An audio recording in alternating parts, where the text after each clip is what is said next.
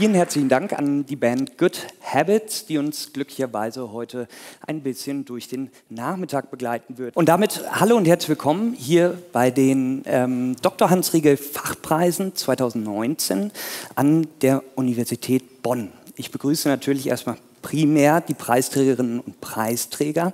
Herzlichen Glückwunsch, dass Sie es schon mal bis hierhin geschafft haben und heute geht es dann primär darum, Sie und Ihre Arbeiten zu feiern. Ich begrüße natürlich auch die Familienmitglieder, die Freunde, die zur Begleitung, zur Feier mit dazugekommen sind, die betreuenden Fachlehrerinnen und Fachlehrer der beteiligten Schulen ähm, sowie die äh, Fachgutachterinnen und Fachgutachter, die hier auf der linken Seite sitzen und sich nicht nur in diesem Jahr schon mit sehr viel Mühe, sehr viel Zeit auf freiwilliger Basis mit ihren Arbeiten und den anderen auseinandersetzen. Und ich glaube, das ist nicht zu viel gemutmaßt, wenn ich sage, auch für Sie ist dieser Tag heute ein Highlight.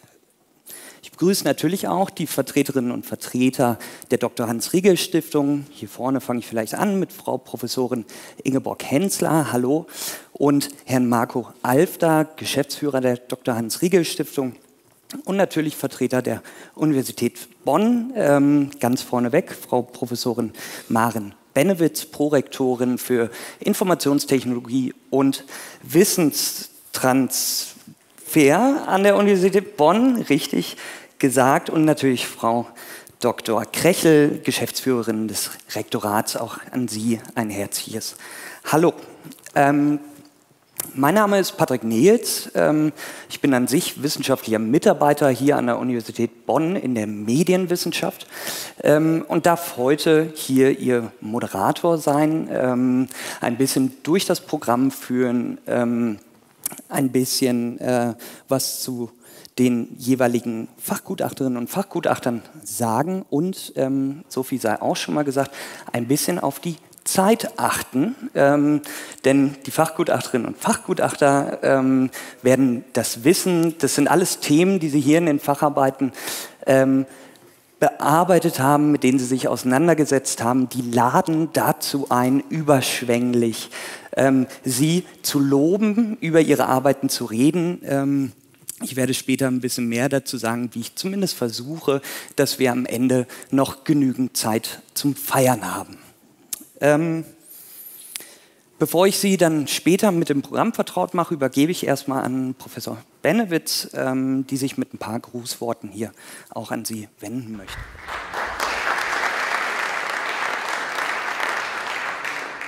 Ja, vielen Dank für die schöne Einführung. Sehr geehrte Damen und Herren, liebe Schülerinnen und Schüler, sehr geehrte Anwesende von der Dr. Hans-Riegel-Stiftung, Frau Professor Hensler, lieber Herr Alfter, und liebe Gutachterinnen und Gutachter, ich heiße Sie ganz herzlich zur diesjährigen Verleihung der Dr. Hans-Riegel-Fachpreise im Festsaal unserer Universität willkommen. Mein ganz besonderer Dank gilt dabei nochmal den Vertreterinnen und Vertretern der Schulen, den Preisträgerinnen und Preisträgern selbst sowie ihren Familien und Freunden, die sicherlich alle, und das natürlich zu Recht, sehr stolz sind. Sie haben alle interessante und hervorragende Arbeiten abgeliefert. An dieser Stelle möchte ich mich nun ähm, zuerst auch noch mal bei der Jury bedanken, also meinen Kolleginnen und Kollegen von der Uni Bonn, mit deren Einsatz es wirklich überhaupt erst möglich ist, ähm, diesen Wettbewerb durchzuführen und junge Leute für ihr Engagement zu belohnen und auszuzeichnen. Besonderer Dank gilt natürlich auch der Dr. Hans-Riegel-Stiftung, mit der wir jetzt bereits seit 13 Jahren zusammenarbeiten und ohne die es diese Preise natürlich gar nicht geben würde. Übrigens ist die äh, Idee der Dr. Hans-Riegel-Fachpreise an der Uni Bonn entstanden, habe ich gehört, worauf wir natürlich stolz sind. Die Dr. Hans-Riegel-Stiftung hat es sich zur Aufgabe gemacht, das Interesse und die Neugier junger Menschen an Naturwissenschaften und Technik zu wecken. Und hierzu unternimmt sie eine Reihe von Aktivitäten, von denen die Fachpreise tatsächlich nur eine Aktivität sind. Aktivitäten, die nicht nur Informationen bereitstellen, sondern auch dazu ermutigen, selbst neugierig zu sein. Und gerade die Fachpreise passen sehr gut zu dem Auftrag der Stiftung, junge Menschen für Naturwissenschaften und Technik zu interessieren, sie selbst forschen zu lassen und in ein Thema sich einzuarbeiten und zu vertiefen. In diesem Jahr wurden insgesamt 109 Facharbeiten bei uns eingereicht. 34 aus der Biologie, 21 aus der Geografie, 10 aus der Mathematik, 18 aus der Physik und jeweils 13 aus der Chemie und Informatik. An dieser Stelle möchte ich mich auch explizit bei den Lehrerinnen und Lehrern bedanken, denen es ja ganz offensichtlich gelingt, äh, Schülerinnen und Schüler für die Naturwissenschaften zu begeistern, was vermutlich im heutigen Zeitalter der allgegenwärtigen Ablenkung durch elektronische Geräte nicht immer ganz einfach ist, könnte ich mir vorstellen. Wir wissen es sehr zu schätzen, dass wir in der Bonner Region ein Umfeld haben, in dem nicht nur die Fachpreise, sondern auch Wettbewerbe wie Jugend forscht äh, oder unsere vielfältigen Angebote für Schülerinnen und Schüler von der Kinderuni bis zum FFF-Programm so gut angenommen werden. Aber nun komme ich endlich zu euch oder Ihnen, liebe Preisträgerinnen und Preisträger. Sie sind ja schließlich die Hauptperson hier. Ne? Als erstes möchte ich mich bedanken, dass Sie mit so viel Arbeitseinsatz und Begeisterung an Ihrem Thema gearbeitet haben. Aus eigener Erfahrung weiß ich, dass das nicht immer ganz leicht ist, neben dem ganzen anderen Pflichtprogramm, was man halt so in der Schule hat heutzutage. Ich bin sicher, ohne die Begeisterung für Ihr Fach hätten Sie keine so hervorragende Arbeit abliefern können. Ich bin tatsächlich beeindruckt von den behandelten Themen. Ich habe mir die Liste vorher angeguckt und muss sagen, manche Titel lesen sich tatsächlich wie Titel von studentischen Master- oder Bachelorarbeiten. Ich konnte es ja gar nicht glauben. Äh, ich kann das natürlich nur für mein eigenes Fach, die Informatik, richtig beurteilen, aber ich bin sicher, in den anderen Fächern ist das genauso. Sie haben alle interessante und vor allem auch relevante Themen für die heutige Zeit bearbeitet und dazu und zu den Fachpreisen möchte ich Ihnen natürlich herzlich gratulieren. Die meisten von Ihnen werden hoffentlich studieren wollen, wenn es geht natürlich bitte bei uns. Die Uni Bonn ist ja seit kurzem offiziell exzellent und wir können solch exzellenten Nachwuchs definitiv gut gebrauchen. Aber nun genießen Sie bitte erstmal gemeinsam mit uns Ihre Feier und seien Sie stolz auf Ihre Aufzeichnungen. Vielen Dank.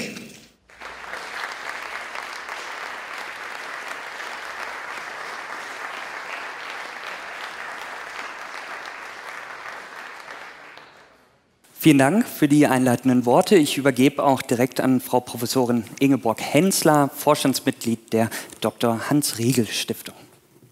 Herzlichen Dank, Herr Niels, dafür. Eigentlich ist schon alles gesagt, nur noch nicht von allen, habe ich gerade gedacht. Aber Sie gestatten, liebe Preisträgerinnen und Preisträger, gegen jede Etikette. Sie begrüße ich selbstverständlich zuerst und dann erst die Vertreterin des Hauses, in Vertretung des Hausherrn. Oh, das zu gendern ist schwierig, fällt mir gerade auf. Sehr geehrte Frau Prorektorin, Frau Professor Benewitz ist äh, schon vorgestellt worden als zuständig für Informationstechnologie und Wissenstransfer. Ich habe das jetzt gelernt. Aber mir ist aufgefallen in der Vorbereitung, dass Sie Professorin für humanoide Roboter sind. Und in diesem Kreise, darf ich das sagen? Ich darf das sagen. Ich sage das einfach. Ganz toll fand ich nämlich, dass Sie x-mal, aber in der Vergangenheit, wir reden aber nicht davon wann, auch in unserem Alter nicht, nein, dass Sie Roboterfußball-Weltmeisterin waren. Ist das nicht toll? Klatschen Sie doch mal. Wow. Und jetzt begrüße ich Sie einfach alle in Toto, denn er hat das ja schon so schön gemacht und alle äh, begrüßt. Ich, ich, ich, Redundanzen sind sonst dauernd angesagt. So, als Vorstandsmitglied der Dr. Hans-Riegel-Stiftung rede ich jetzt nur stellvertretend für die, die auch schon benannt worden sind. Und wir sind auch ansonsten noch vertreten mit Mitarbeiterinnen und Mitarbeitern. Das zeigt unsere enge Verbindung in Bonn zur Bonner Universität. Wir kommen da gleich noch drauf zurück. So, die Dr. Hans-Riegel-Stiftung hat, Sie sagten es bereits, im Kern die Bildung junger Menschen im Auge. Und warum? Der Stifter wollte nämlich Kindern und Jugendlichen, ich zitiere das nur sinngemäß, ich könnte es auch noch ein bisschen mit Dialekt färben, wir sprachen gerade darüber, etwas von dem zurückgeben, was er und sein Unternehmen wer weiß es nicht, Haribo ist gemeint, sein Unternehmen von Ihnen, von den jungen Menschen erhalten hat. Und so steht im Fokus der Stiftung, junge Menschen bei der Gestaltung von Zukunft zu unterstützen und, wenn es geht, sogar nachhaltig, ich Stroh mit Nachhaltigkeit zu begleiten.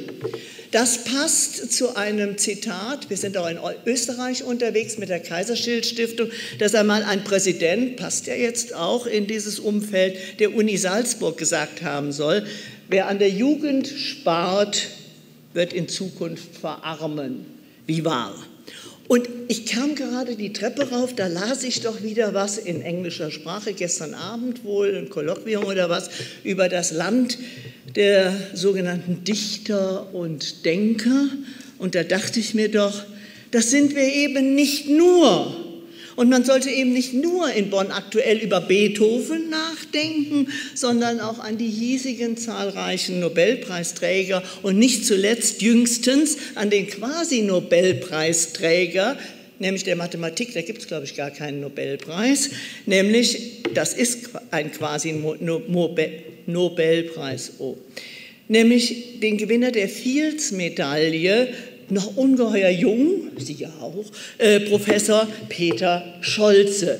Und zwar nicht zuletzt wegen seiner perfektuiden Räume, wie ich gelesen habe. Und darüber hören wir auch nachher und staunen wahrscheinlich noch mehr. Wir sind eben auch das Land der Erfinderinnen und Erfinder. Und so ist es nicht verwunderlich, dass unser Stifter als promovierter Volkswirt und produzierender Unternehmer den Ingenieur, den Informatik und Naturwissenschaften ganz besondere Bedeutung beigemessen hat. Er hat das nämlich als Volkswirt für die Basis für tragfähige Wettbewerbsfähigkeit und für den Wohlstand unserer Gesellschaft angesehen. Und also liegt unser Schwerpunkt in der Förderung der MINT-Bildung, weil wir da eben die Basis sehen, wie gesagt, für innovative, effektive Chancen in Zeiten zunehmender Digitalisierung, Roboterisierung, Globalisierung zur Gestaltung unserer ökologisch verantwortbaren Zukunft. Daraus resultieren dann unsere vielfältigen, häufig kooperativen Projekte entlang der gesamten Bildungskette, um Talente zu finden und zu fördern, zu begleiten, zu vernetzen jungen Menschen zu helfen, die Welt von morgen zu entdecken und zu gestalten, mitzugestalten. Und dabei bitteschön, es wird genügend zitiert im demografischen und demokratischen Raum, nämlich Werte zu schätzen und möglicherweise zu schaffen. Die Dr. Hans-Riegel Fachpreise, die wir, das stimmt, seit 14 Jahren, äh, nee, zum, doch, seit zum 14. Mal verleihen, haben hier in Bonn ihren Anfang genommen und die längste Tradition, das muss mal gesagt werden, das habe ich auch versprochen. Und mit der Vergabe der Dr. Hans Riegel Fachpreise begann eigentlich alles, nämlich unsere zunehmende Zusammenarbeit mit 16 deutschen und fünf österreichischen Universitäten. Also jetzt sind wir an 21 Standorten vertreten. Und das hohe Niveau dieses Wettbewerbs, das sind Sie. Die Qualität der Arbeiten, das ermutigt uns möglicherweise noch weitere Kooperationen einzugehen. In Zahlen, Daten, Fakten haben wir bis jetzt aufzuweisen mehr als 1300, wo ist der Herr Laffin, 300 Einsendungen im Jahr Daraus werden gekürt über 250 Preisträgerinnen und Preisträger und wir schütten schon deutlich über 100.000 Euro Preisgelder aus. Unsere Aktivitäten sind natürlich ausgeweitet, das haben Sie schon gesagt. Wir haben so etwas wie ein Alumni, wir könnten noch einen besseren Namen dafür finden, ein Alumni-Netzwerk geschaffen und bieten dafür Campus, Seminar, Tagungs- und Akademieangebote an für die ehemaligen. Ab heute sind sie ehemalige. Und deshalb werden sie dann auch eingeladen und dann können sie davon profitieren. Und ich habe den Auftrag, ich soll sie schon gleich einladen. Das findet nämlich auch sinnigerweise hier statt. Nämlich im Rahmen unserer nächsten Akademie habe ich Ihnen schon mitgebracht. Will heißen, Sie sind herzlich eingeladen zum Science Slam, moderiert von Eckhard von Hirschhausen in der Aula dieses Hohen Hauses. Will heißen, am 19.09., nicht um 19 Uhr, aber um 19.30 Uhr kann man gut merken. Save the date. Okay? Gut. So, wir kommen zur Preisverleihung. Sechs MINT-Fächer haben Sie aufgerufen. Ich ich war ganz aufmerksam. Haben Sie sie in der Reihenfolge genannt? Nicht in alphabetischer. War das die Reihenfolge der Häufigkeit der Einsendung, der Anzahl der Einsendungen? Sehen Sie, die ist abweichend von der, die ich habe. Biologie, Geografie, Physik, Chemie und Informatik sind gleich auf, was die Quantitäten anbelangt. Und dann kommt die Mathematik. Und alle kamen aus Bonn-Rhein-Sieg. Wir haben gleich 18 Preisvergaben. Ich muss das jetzt noch sagen, Sie hätten es sagen können, das haben Sie bei mir nicht weggenommen, das ist gut so. Meines Erachtens gendermäßig sehr gut, mehr als ausgewogen. Zehn weibliche, dann bleiben nur acht männliche Gewinner und Gewinnerinnen. Erstaunlich fand ich, die Chemie ist total männlich besetzt, die Geografie dagegen ausschließlich weiblich ausgewiesen. In Physik und Informatik sind die ersten Preise jeweils von den Damen belegt. Da redet noch irgendjemand oder irgendeine von Klischees. Fünf Preisträgerinnen kommen aus MINT-EC-Schulen die, die das betrifft, wissen das. Zur Erklärung, warum ich es erwähne, die Dr. Hans-Riegel-Stiftung ist seit sechs Jahren Förderpartner von MINT-EC und wir unterstützen maßgeblich den jetzt auch gerade wieder laufenden Schulwettbewerb. Übrigens muss ich noch eine Schule ich hoffe, die ist auch gut repräsentiert bestimmt, ne, besonders hervorheben. Dann dürfen Sie auch klatschen, meine ich. Das Kardinal-Frings-Gymnasium stellt hier und heute bereits seinen zehnten Preisträger, seine zehnte Preisträgerin zur Nachahmung empfohlen. Bitte klatschen.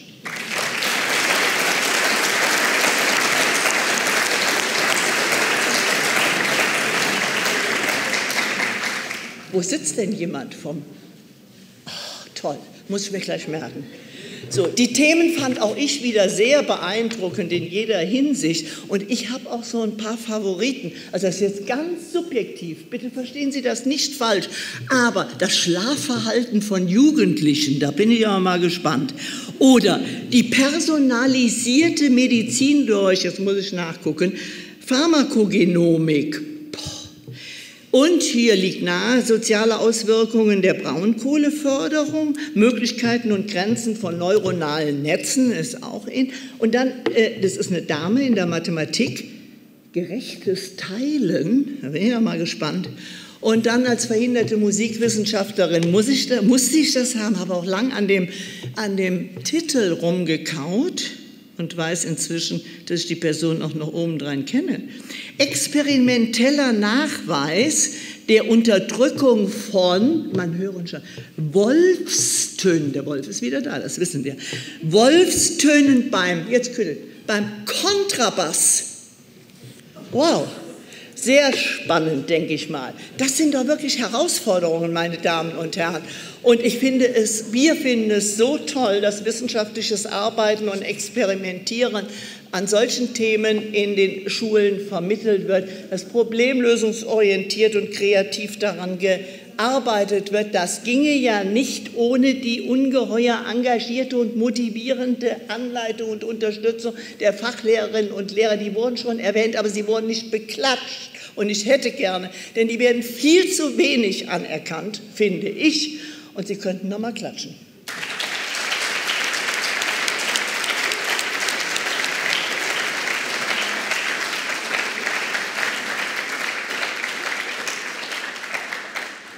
Da Sie so richtig schon in der Übung sind, mal schauen, ob wir die nächsten dann auch noch mal beklatschen müssen, denn das Umfeld ist ja sicherlich auch sehr ermutigend, wenn hin und wieder mal bei Ihnen die Biorhythmuskurve durchsackt dann ist es Familie, dann sind es Freunde, die einem dann noch mal einen nötigen Schubs geben. Also denen ist auch gleich zu danken. Und das machen wir dann in einem in Toto mit den Damen und Herren, da habe ich immer Chapeau zu sagen, den Damen und Herren Jurorinnen und Juroren, denn ohne die gäbe es ja Sie als Preisträgerinnen und Preisträger gar nicht. Die haben sich der Mühe unterzogen, ihre Arbeiten einer kritischen Prüfung und Wertung zu unterziehen.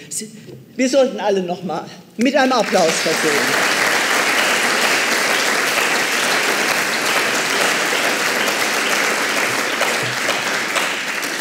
Es ist Ihre Begeisterungsfähigkeit und Ihr Interesse, meine jungen Damen und Herren, die die Dr. Hans-Riegel-Stiftung, ich kriege es schon gezeigt, die gelbe Karte, äh, rote kriege ich nicht noch, aber die uns motiviert, die Bildungsanstrengungen in diesem unserem Land, für unser Land, für Sie weiterhin auszubauen. Und wir tun das von der Förderung naturwissenschaftlich-technisch orientierter Kindergärten über unseren spannenden Science Truck Touch Tomorrow, mit dem wir in die Schule gehen, unterwegs sind, mobil innovative Zukunftstechnologien zum Anfassen zugänglich und begreifbar machen und last but not least auch in der Lehrerinnen- und Lehrerfortbildung, zum Beispiel in der Teilchenphysik. Zum guten Schluss, das ist mir ganz wichtig, gucke ich in die Richtung, ich möchte es nicht versäumen, im Namen der Dr. Hans-Riegel-Stiftung, allen, die uns seit 14 Jahren so toll, so exzellent, muss man ja in dieser Uni immer wieder sagen, so exzellent unterstützen und vor allen Dingen äh, diese Vielfalt, die wir an Themen mit Ihnen haben. Es ist ja nicht nur diese Veranstaltung, aber die ist natürlich das Wichtigste und heute im Fokus, sondern verschiedenartige Talentforderungen mit uns begleitet haben. Da gilt unser ganz herzlicher Dank allen voran Frau Dr. Grugel seit 14 Jahren und Ihrem aktuellen Team. Herzlichen Dank.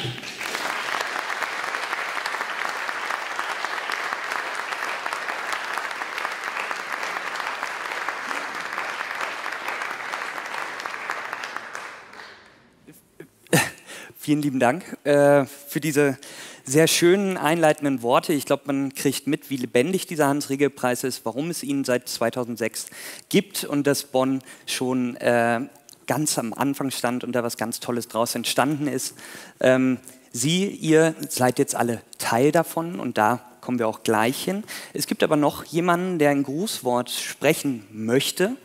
Ähm, und das aber über eine Videobotschaft. Ähm, wir hoffen, es funktioniert alles, alles gut. Ähm, nämlich melden möchte sich die Ministeri äh, äh Ministerin für Schule und Bildung des Landes NRW, Yvonne Gebauer. Bitte schön. Liebe Schülerinnen und Schüler, liebe Lehrerinnen und Lehrer, sehr geehrte Vertreterinnen und Vertreter der Hochschulen und der Dr. Hans-Riegel-Stiftung, meine sehr geehrten Damen und Herren. Bereits zum zehnten Mal werden die besten Facharbeiten von Schülerinnen und Schülern in den Fächern Biologie, Chemie, Geographie, Mathematik und Physik durch die Dr. Hans-Riegel Fachpreise prämiert. Auch in diesem Jahr gingen zahlreiche Arbeiten ein, die von den jeweiligen Fachjurys gesichtet wurden. Und sicherlich war die Auswahl schwierig, denn Ihre Facharbeiten, liebe Schülerinnen und Schüler, zeugen von hoher Qualität und profundem Wissen. Sie haben schwierige Themen angepackt. Sie haben geforscht und durch das Verfassen Ihrer Facharbeit einen Eindruck über wissenschaftliches Arbeiten erhalten. Und daher gratuliere ich natürlich ganz herzlich den Siegerinnen und Siegern dieser anspruchsvollen Aufgabe. Ausdrücklich gratulieren möchte ich aber auch der Dr. Hans-Riegel-Stiftung. Seit inzwischen zehn Jahren werden von der Dr. Hans-Riegel-Stiftung jährlich schulische vorwissenschaftliche Arbeiten im MINT-Bereich ausgezeichnet. Und hierbei ist es der Stiftung wichtig, junge Talente im mathematisch-naturwissenschaftlichen Bereich zu fördern und frühzeitig den Kontakt zur Hochschule herzustellen. Dies stärkt die Studierfähigkeit der jungen Menschen und die Dr. Hans-Riegel Fachpreise stellen damit ein wertvolles Instrument zur Motivation junger Menschen für die MINT-Fächer dar.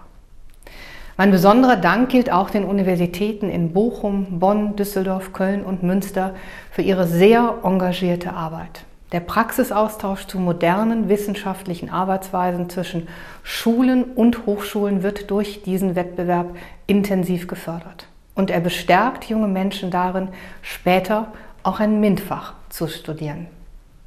Jedes Jahr geht eine Vielzahl an Arbeiten ein, von denen in den vergangenen zehn Jahren an der Universität Bonn sogar bereits seit 13 Jahren inzwischen mehr als 500 Arbeiten ausgezeichnet werden konnten.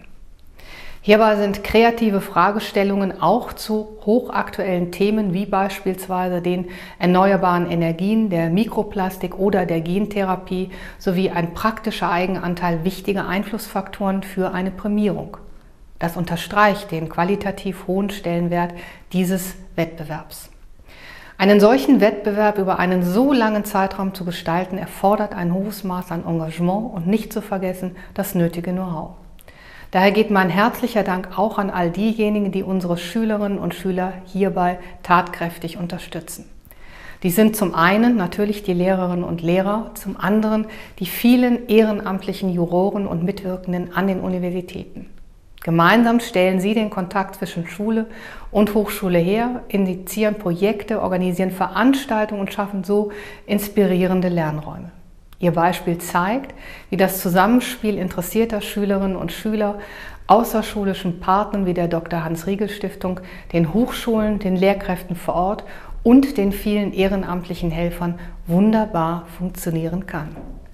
Auch für die nächsten Jahre wünsche ich uns allen viele weitere kreative Arbeiten, aus denen neue, innovative Forschungsvorhaben erwachsen und die schulische Ausbildung noch enger mit der universitären Arbeit verknüpfen.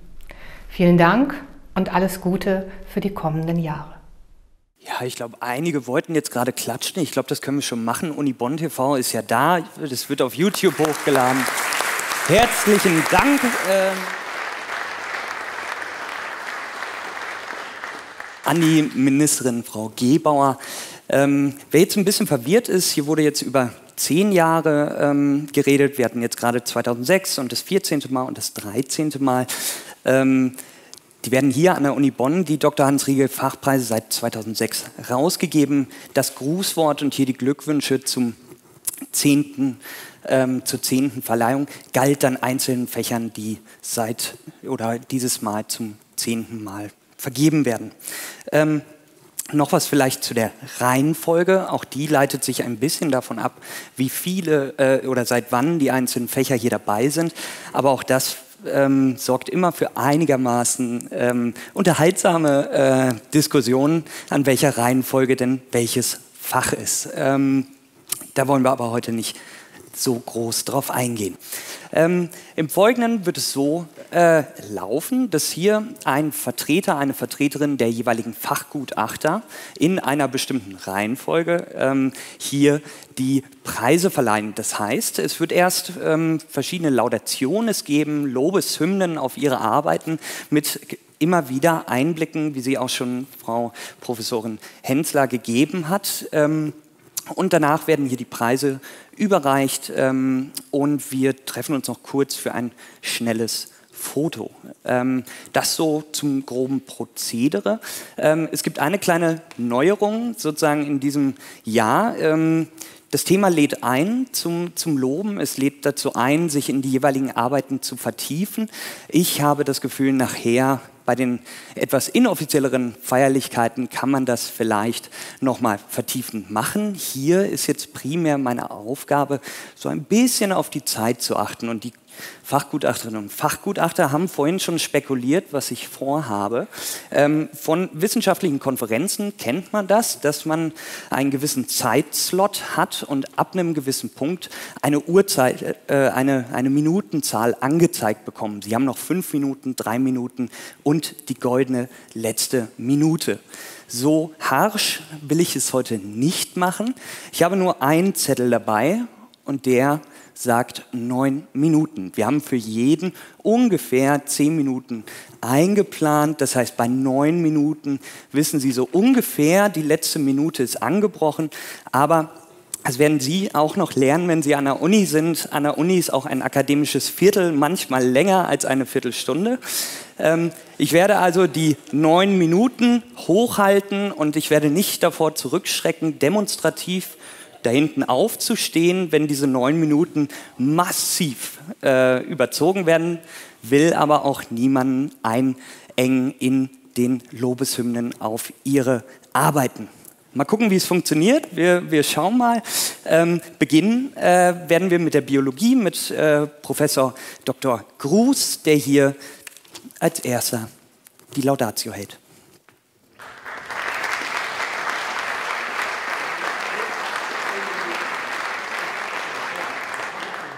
Ja, vielen Dank. Ähm, ich bin eigentlich froh, dass ich jetzt kein Grußwort mehr sprechen muss, ähm, weil es ist eigentlich alles schon wunderbar charmant gesagt worden, was man so allgemein über die Preisvergabe sagen kann. Ich möchte mich zunächst entschuldigen, dass ich ähm, jetzt bei uns in der Biologie anfange, beim neuen Team für die äh, Gutachter bedanken. Frau Professorin Annette Schersoll und äh, Dr. Julia Schwarze haben mich unterstützt. Wir zu dritt haben also die Facharbeiten aus der Biologie begutachtet. Wir hatten, das haben wir ja schon gehört, die meisten Facharbeiten. Wunderschön natürlich, ähm, aber für uns natürlich auch die meiste Arbeit. 34 Arbeiten für die Biologie, die eingereicht waren von 109. Und ja, auch das haben wir schon gehört, die Biologie hat ein Gender-Issue. Ähm, es ist allerdings nicht mehr ganz so schlimm wie in den vergangenen Jahren. Von den 34 haben wir immerhin zwölf Einreichungen von Schülern. 22 äh, kamen von Schülerinnen und wir haben, glaube ich, jetzt eine ganz gute Balance äh, gefunden. Ähm, auch zwei Preise gehen an Schülerinnen und ein Preis geht an einen Schüler. Das spiegelt interessanterweise ganz gut wider, äh, was wir auch bei den Studierenden sehen, dass wir nämlich etwa zwei Drittel weibliche Studierende haben ähm, im Fachbereich Biologie. Also Exzellenz, auch dieser Begriff ist schon gefallen. Ähm, wir als Gutachter haben versucht, das, was wir als Exzellenz erkannt haben, zu würdigen und in Preise umzusetzen. Ähm, was ist Exzellenz? Schwierig zu definieren im naturwissenschaftlichen Sinne auch. Was ist für uns subjektiv? Äh, was sind die Kriterien, äh, die wir angelegt haben? Ich weiß nicht, wer Per Anhalter durch die Galaxis kennt. Ähm, es wurde eine riesige Maschine gebaut, mit der man eine ganz wichtige Fragestellung hat versucht zu beantworten. Äh, am Ende kommt eine präzise Antwort raus, aber man hat vergessen, was die Fragestellung eigentlich ist. Ähm, also in diesem Sinne, das Allerwichtigste ist, machen Sie sich, liebe Schülerinnen und Schüler, liebe äh, Lehrerinnen und Lehrer, machen Sie sich Gedanken über die Fragestellung. Das ist das Allerwichtigste. Originalität des gewählten Themas und der Fragestellung, das war für uns äußerst, äh, äußerst wichtig und haben wir entsprechend gewürdigt. Natürlich ein für die experimentelle Wissenschaft der Biologie erkennbarer experimenteller Eigenanteil. Ähm, wie der sich darstellt, ist ganz unterschiedlich, aber Ihre originelle ähm, äh, Studie, Ihr origineller Beitrag, das haben wir gewürdigt hinreichend, umfassend, aber präzise beschrieben. Das Thema eine klare und wissenschaftlich korrekte Sprache, ähm, sachliche Darstellung ohne zu emotionalisieren, das ist, glaube ich, auch ganz wichtig. Die Verwendung sinnvoller grafischer Darstellungen für die wissenschaftlichen Ergebnisse und die korrekte Platzierung und Darstellung von den wissenschaftlichen Zitationen. Auch das ist ganz wichtig. Gehen Sie über Dr. Google und www hinaus und machen Sie wirklich korrekte Quellenangaben. Und damit will ich eigentlich nicht weiter vorreden, sondern unsere Preisträgerinnen und Preisträger hier mit aufs Podium bitten. Ich rufe es der Reihe nach auf und wir äh, zitieren ein bisschen aus den Laudationes, ähm, die wir verfasst haben. Ähm, der dritte Platz geht an Rebecca Herbst von der Europaschule Bornheim. Frau Herbst, wenn Sie ruhig schon mal hier nach vorne kommen.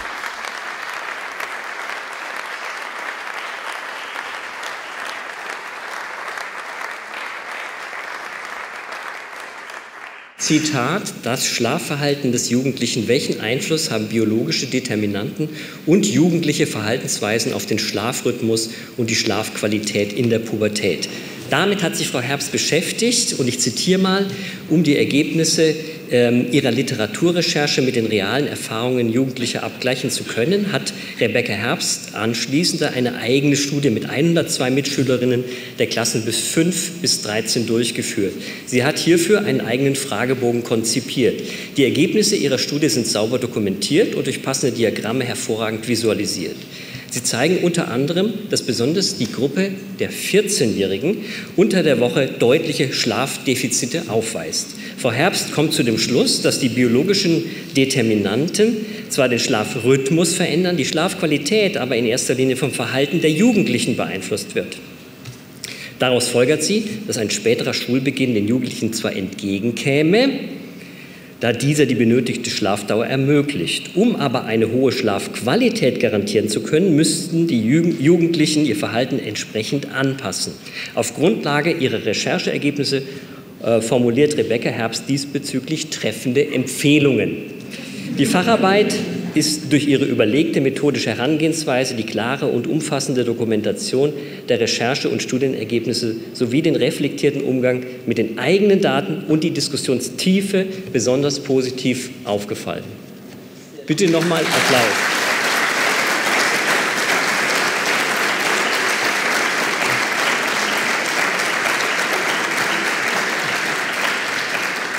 Sehr schön. Sie dürfen am Ende dann auch noch mal klatschen, wenn wir die Preise wirklich verleihen. Der zweite Platz, wir hatten es in der thematischen Übersicht schon erwähnt, geht an Frau Clara Kuske von, vom Amos Comenius Gymnasium in Bonn für ihre Arbeit zu potenziellen Folgen für Mensch und Umwelt durch Mikroplastik in Kosmetika. Frau Kuske, wenn Sie nach vorne kommen wollen.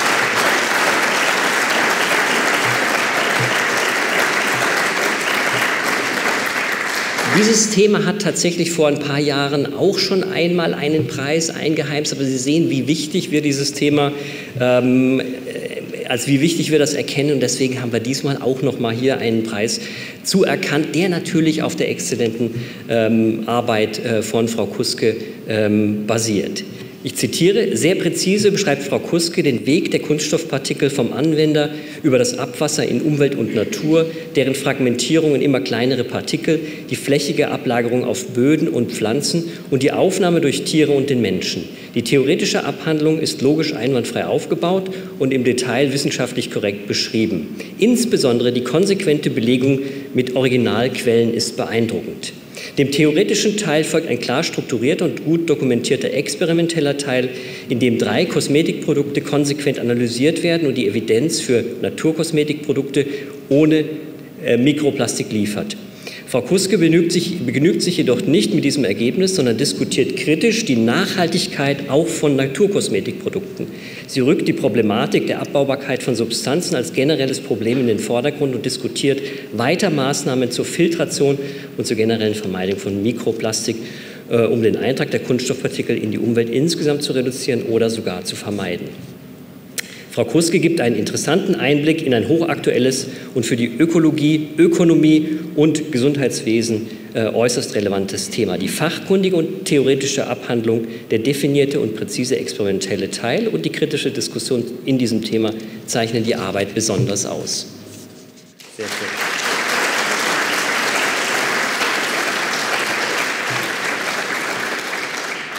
So, und dann haben wir einen ersten Platz, wobei wir uns äh, natürlich mit solchen Rankings immer schwer tun. In diesem Fall ist es allerdings so, dass wir alle drei als Gutachterinnen und Gutachter fanden, dass dieser Beitrag den ersten äh, Platz verdient hat. Ähm, der, Platz, der erste Platz, äh, der erste Preis geht an Kaspar Jung vom Gymnasium äh, Schloss Hagerhof in Bad Honnef. Herr Jung, wenn Sie auch nach vorne kommen, äh, Ihr Thema war, ist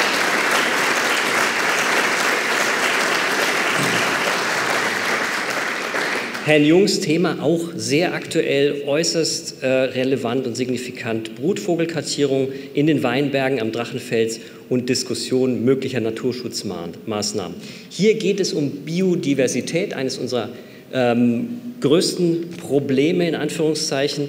Biodiversitätsverlust, und ich zitiere, ist allgegenwärtig und ist nicht zuletzt durch die zu Recht medienwirksam geführte Diskussion um die Ursachen des Insektensterbens auch in der breiten Öffentlichkeit angekommen.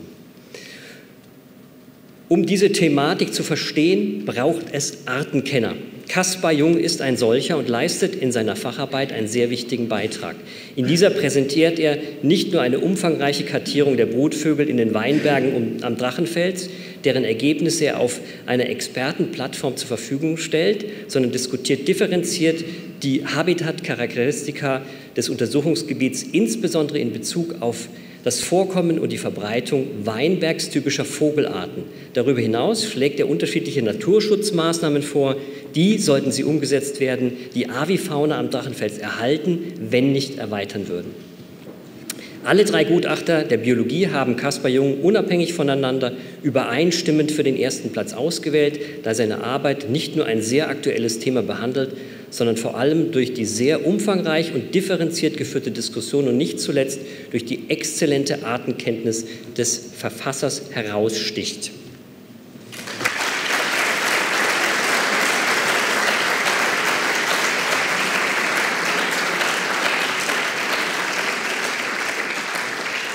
Liebe Kolleginnen und Kollegen aus dem Lehramt, ich möchte jetzt natürlich an dieser äh, Stelle nicht äh, vergessen, Sie zu erwähnen. Herr Harting ähm, ist der betreuende Fachlehrer äh, von ähm, Herrn Jung. Ich weiß nicht, ob er da ist. Dann würden wir ihn mit auf die Bühne bitten.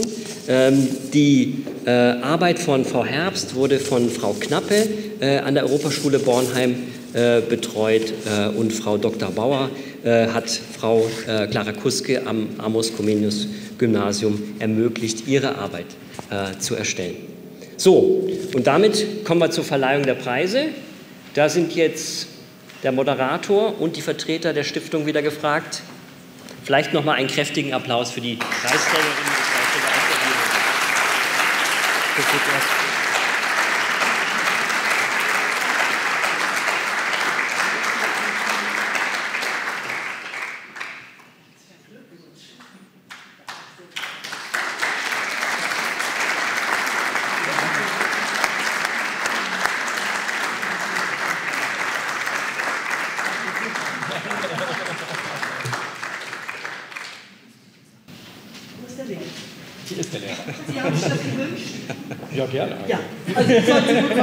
Dankeschön. Voilà. Danke. Jetzt würde ich Sie alle so ein bisschen hinterm Punkt hervorbinden. Ja, einen großen gut. Schritt auf mich zukommen.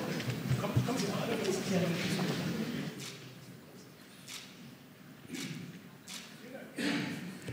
Ja, vielen Dank. Herzlichen Glückwunsch nochmal an alle Preisträgerinnen und Preisträger.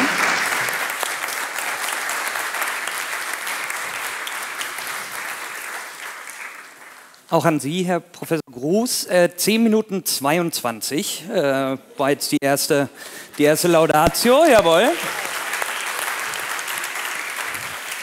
Die ähm, Fotos am Ende werden natürlich rausgezählt aus der offiziellen Wertung.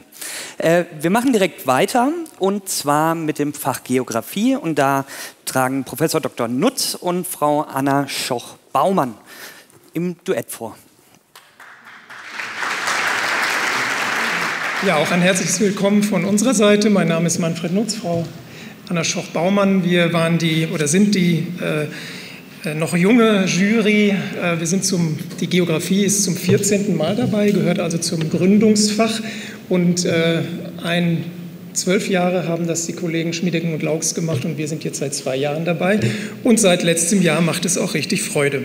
21 Bewerbungen, es wurde schon äh, gesagt, sind eingegangen. Der Frauenanteil 81 Prozent. Ich denke, wir tun unseren Anteil, um die Frauenförderung in den MINT-Fächern zu bewerkstelligen. Und der Preisträgerinnen Anteil ist 100 Prozent. Sie hatten es schon angedeutet. Ob das gut ist, muss man diskutieren, aber wir haben ja eine Gleichstellungsbeauftragte an der Uni, äh, das kriegen wir schon hin. 17 Bewerbungen aus verschiedenen Bonner Schulen sind eingegangen, aber auch Rheinbach, Königswinter und Neunkirchen-Seelenscheid aus dem suburbanen Raum waren vertreten. Das freut uns natürlich sehr. Ich darf jetzt die äh, Preisträgerinnen nach vorne bitten. Den dritten Platz belegt eine Facharbeit aus dem LK des äh, Kardinal Frings Gymnasiums, äh, vorgelegt von Anna Vierlei, mit, betreut von Herrn Schönen, mit dem Thema soziale Auswirkungen der Braunkohleförderung am Beispiel des Tagebaus Garzweiler. Frau Vierlei, ich darf Sie nach vorne bitten.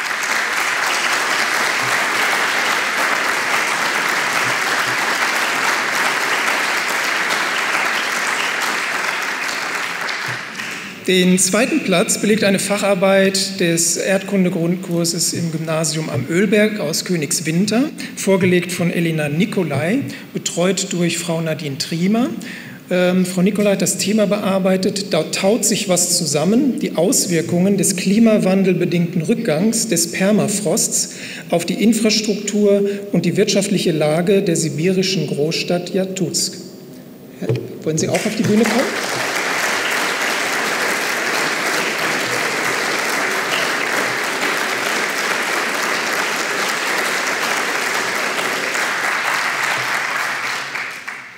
Und den ersten Platz belegt eine Facharbeit aus dem LK Erdkunde im äh, Amos Comenius Gymnasium in Bonn, vorgelegt von Maja Findeneck, betreut durch Frau Görz. Ähm, Frau Findeneck hat das Thema bearbeitet, Chancen von regionalen Tourismusprojekten am Beispiel der rheinischen Apfelroute. Ich darf Sie und einen Vertreter, Vertreterin der Schule nach vorne bitten.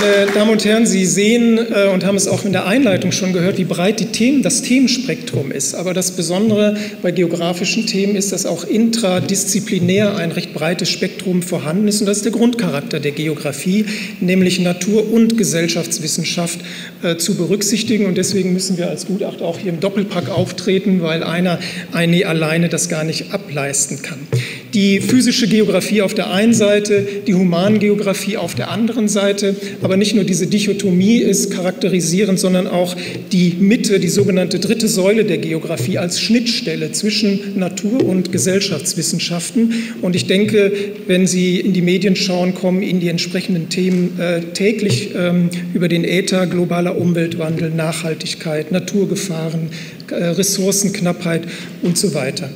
Und immer mehr ähm, müssen räumliche Phänomene und äh, Raumsysteme einer mehrdimensionalen Betrachtung äh, unterzogen werden, um aktuelle Prozesse in den Stadtlandschaften, in den Waldlandschaften, in den Agrarlandschaften, in den unterschiedlichen Kulturlandschaftstypen erklären zu können. Und Schlagzeilen wie Klimawandel, wem gehört die Stadt, Raubbau, Abholzung der Regenwälder, denke ich, sprechen eine deutliche Sprache, wie wichtig diese Schnittstelle ist und dass wir das natürlich nicht nur intradisziplinär, sondern auch interdisziplinär angehen müssen und das tun wir auch.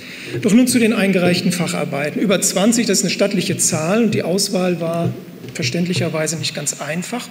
Es konnte eine klare Spitzenarbeit identifiziert werden ähm, mit der herausragenden Arbeit von Frau Findeneck und auch Platz zwei war mit, mit, der bemerkenswerten Literaturarbeit von Frau Nicolai übereinstimmend äh, positioniert worden. Doch dann folgte eine kleine Gruppe von überdurchschnittlichen Facharbeiten, die in ihrer Qualität sehr eng beieinander lagen. Und das war dann nicht einfach. Und die hat Frau Vierlei mit ihrer Arbeit, ähm, die ein Höchstmaß an Originalität aufwies, äh, sich durchsetzen können in dieser äh, Gruppe. Und dazu einen herzlichen Glückwunsch. Die Kriterien, die wir angelegt haben, ähm, waren, ähnlich wie mein Vorredner das auch schon äh, auch gesagt hat, äh, die Wissenschaftlichkeit, der wissenschaftliche Anspruch, die Literaturauswahl bzw. Datenbasis, eventuell auch empirischer Zugriff, die Originalität äh, wichtig, die Gliederung, Stringenz, also der rote Faden wurde ähm, natürlich berücksichtigt und auch die, die Sprache, Formalia, Zitierweise äh, etc. Also das sind die ähm, Kriterien, die wir angelegt haben und äh, sind zu diesem äh, Ergebnis äh, gekommen. Einige Anmerkungen zum dritten Platz zu äh, Frau äh, Vierlei, soziale Auswirkungen der Braunkohleförderung am Beispiel des Tagebaus Garzweiler. Diese Thematik seit vielen Jahrzehnten eigentlich schon sind die Auswirkungen des Braunkohletagebaus Untersuchungsgegenstand der Fachdisziplin Geographie, ob das ökologische Auswirkungen des Eingriffs in die Landschaft sind, ob das Konzepte der Renaturierung sind, wirtschaftsgeografische Bilanzierung oder sozialgeografische Untersuchungen zu Ortsverlagerung und Heimatverlust. Und trotzdem ist die Thematik äh, von Frau Vierlei brandaktuell. Und genau das war auch der Anlass der Kandidatin, genau dieses Thema auszuwählen. Denn die aktuellen Diskussionen zum Kohleausstieg in der Bundesrepublik und die massiven Proteste der Kohlegegner vor unserer Haustür zum Schutze von Hambi sind in der Öffentlichkeit äh, sehr präsent. Und die Gliederung der Arbeit, die gibt eine sehr klare und gute Orientierung zum Gedankengang der Kandidatin, was sie sich letztendlich als roten Faden ausgesucht hat. Und sie nimmt verschiedene Akteure in dieser hochpolitischen Thematik unter die Lupe und hat damit eine Ausgewogenheit bei der Berücksichtigung unterschiedlicher Positionen zur Umsiedlung im Blick. Sie zieht die Argumente sowohl von RWE Power mit in die Analyse ein, als auch die Rolle der Politik. Sie fragt nach den Argumenten der Protestbewegung und sie nimmt die Sichtweise der von der Umsiedlung betroffenen Bewohner mit hinzu. Mit dieser Akteurskonstellation finden die Eckpfeiler des Braunkohletagebausdiskurs eine umfassende Berücksichtigung. Das ist ihr sehr gut gelungen, also diese Ausgewogenheit. Ähm, denn dieses Thema wird natürlich häufig auch äh, sehr emotional, parteiisch und subjektiv diskutiert. Die Arbeit besticht zudem durch die Produktion primärer Informationen. Die hat Frau Vierlei durch einen vielfältigen Methodenmix erhoben und so ist es ihr gelungen, einen hochrangigen RWE-Mitarbeiter, ehemaligen RWE-Mitarbeiter zu befragen, Bürgerbefragungen vor Ort durchzuführen, Mitglieder der Protestbewegung zu interviewen, als auch, und das fand ich sehr charmant, die letzte Einwohnerin von Immerath zu einem, für ein Telefoninterview zu gewinnen. Ähm, teilnehmende Beobachtung, eigene Fotodokumentation äh, ergänzen das empirische Material wunderbar. Der Kandidatin gelingt es, einen, eine Sorg, nicht nur eine sorgsame äh, Deskription dieser komplexen Gemengelage darzustellen. Im Ergebnis kommt Frau Vierlei zu dem Schluss, dass es zu einer Diskrepanz zwischen Theorie, Konzept und Realität kommt. Denn so kann zum Beispiel der Standort mit zusammengelegten Flächen für einen Landwirt durchaus Sinn machen. Wenn allerdings diese Fläche mangels Flächenverfügbarkeit nicht zur Verfügung gestellt werden kann und ihm deswegen Kompensationszahlungen angeboten werden, die über einen jahrelang dauernden Verhandlungsprozess nicht ausgezahlt werden, dann kann das für einen Landwirt existenzbedrohend sein. Also Theorie und Realität klaffen hier äh, stark auseinander. Oder auch die betroffenen Bewohnerinnen und Bewohner, die Vorzüge eines neuen Wohnortes mit einer besseren Infrastruktur als im alten, aber auch der Verlust der Heimat äh, sind ähm, hier äh, zu nennen. Ähm, und so ist das Ergebnis der Facharbeit letztendlich eine Medaille mit bekanntlich zwei Seiten. In der Gesamtschau hat Frau Vierlei eine Facharbeit von hoher Originalität vorgelegt. Es handelt sich dabei nicht um eine wissenschaftliche Arbeit im klassischen Sinne, sondern um eine Feldstudie, die als sehr schöne Exploration bezeichnet werden kann. Und das Engagement der Kandidatin und vor allen Dingen die Empirie und der Methodenmix äh, haben uns sehr überzeugt. Herzlichen Glückwunsch.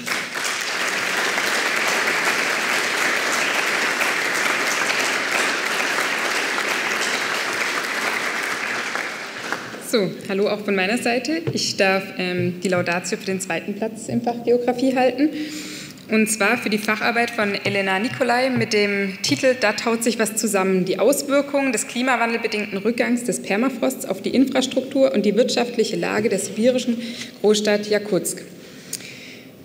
Die Folgen des Klimawandels werden nicht nur in der geografischen Forschung behandelt sondern sie sind seit einiger Zeit auch ähm, in den Medien und im Alltag von uns allen präsent.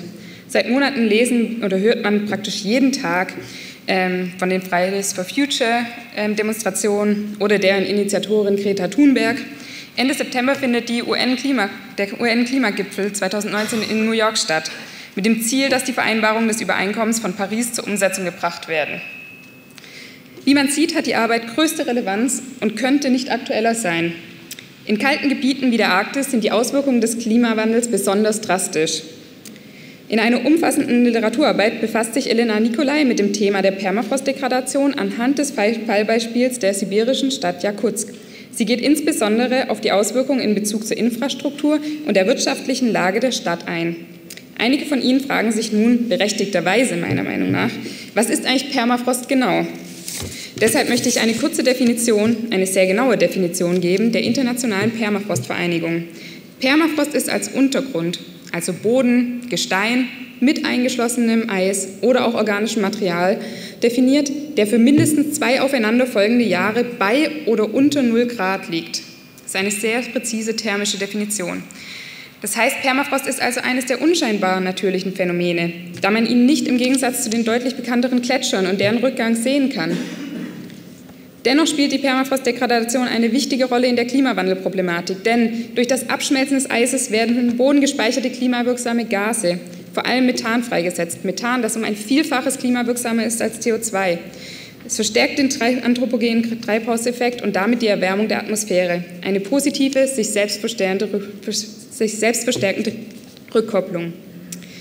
Elena Nikolai zitiere in Arbeit Toni Lefkowitz, den ehemaligen Präsident der Internationalen Permafrostvereinigung, der die Bedeutung des Permafrosts in Zeiten des Klimawandels betont. Ich zitiere, weil Millionen Menschen auf Permafrostboden leben und vom Permafrost abhängig sind. Infrastruktur steht darauf und die Kosten steigen erheblich, wenn sich der Permafrost erwärmt und taut. Sie sehen, relevant und aktuell. Nun zur Arbeit im Detail. Die Arbeit weist eine klare Struktur auf. Sie ist wissenschaftlich und sachlich formuliert. Die Fachtermini werden gekonnt eingesetzt. Der theoretische Hintergrund zu Permafrost, dessen Verbreitung und Rückgang bilden ein gutes wissenschaftliches Fundament für die Arbeit. Doch vor allem die Anwendung der Thematik auf ein konkretes Untersuchungsgebiet, die ostsibirische Stadt Jakutsk, hat uns überzeugt und beeindruckt. Nach einer kurzen, prägnanten Beschreibung der Stadt und Region, der Infrastruktur und der wirtschaftlichen Lage Frau Nikolai, zeigt Frau Nikolai den Rückgang des Permafrosts in der Region sowie dessen Auswirkungen sehr detailliert auf. Dies wird anhand von vielen Beispielen deutlich. Aufgrund des Permafrosts sind die Trinkwasserversorgung und die Abwasserentsorgung deutlich schwieriger. Leitungen können nur oberflächlich verlegt werden. Der Bau von Gebäuden und Straßen stellt eine besondere Herausforderung dar. Durch die Pfahlbauweise werden Gebäude stabil im Permafrost gebaut, sodass das saisonale Auftauen der obersten Meter nicht zu Beschädigungen führen kann. Elena Nikolai folgert jedoch richtig, dass, ich zitiere, der Rückgang des Permafrosts aber auch zu Beschädigungen auf Pfählen errichteter Gebäude führen kann wenn beim Bau die Pfähle schlichtweg nicht tief genug eingesetzt wurden und die Auftauschschicht inzwischen so mächtig geworden ist, dass sie das Fundament der Pfähle destabilisiert. Diese Folgen des Permafrostrückgangs führen zu hohen Kosten und bedeuten, wenn nicht in die Erhaltung investiert wird, einen Standortnachteil für die Stadt und die Region. Zum Schluss kritisiert Frau Nikolai, dass Bewohner der russischen Städte in Permafrostgebieten und sogar russische Wissenschaftler sich skeptisch gegenüber dem anthropogenen Klimawandel zeigen. Sie merkt an, dass dies zum Verhängnis werden könnte, da derzeitige und zukünftige Probleme nicht so, so nicht erkannt und bewältigt werden können. Daher appelliert sie an ein schnelles, international abgestimmtes und wissenschaftlich fundiertes Handeln.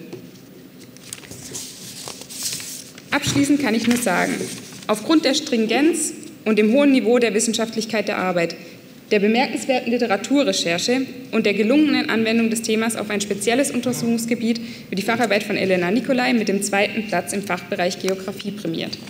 Herzlichen Glückwunsch.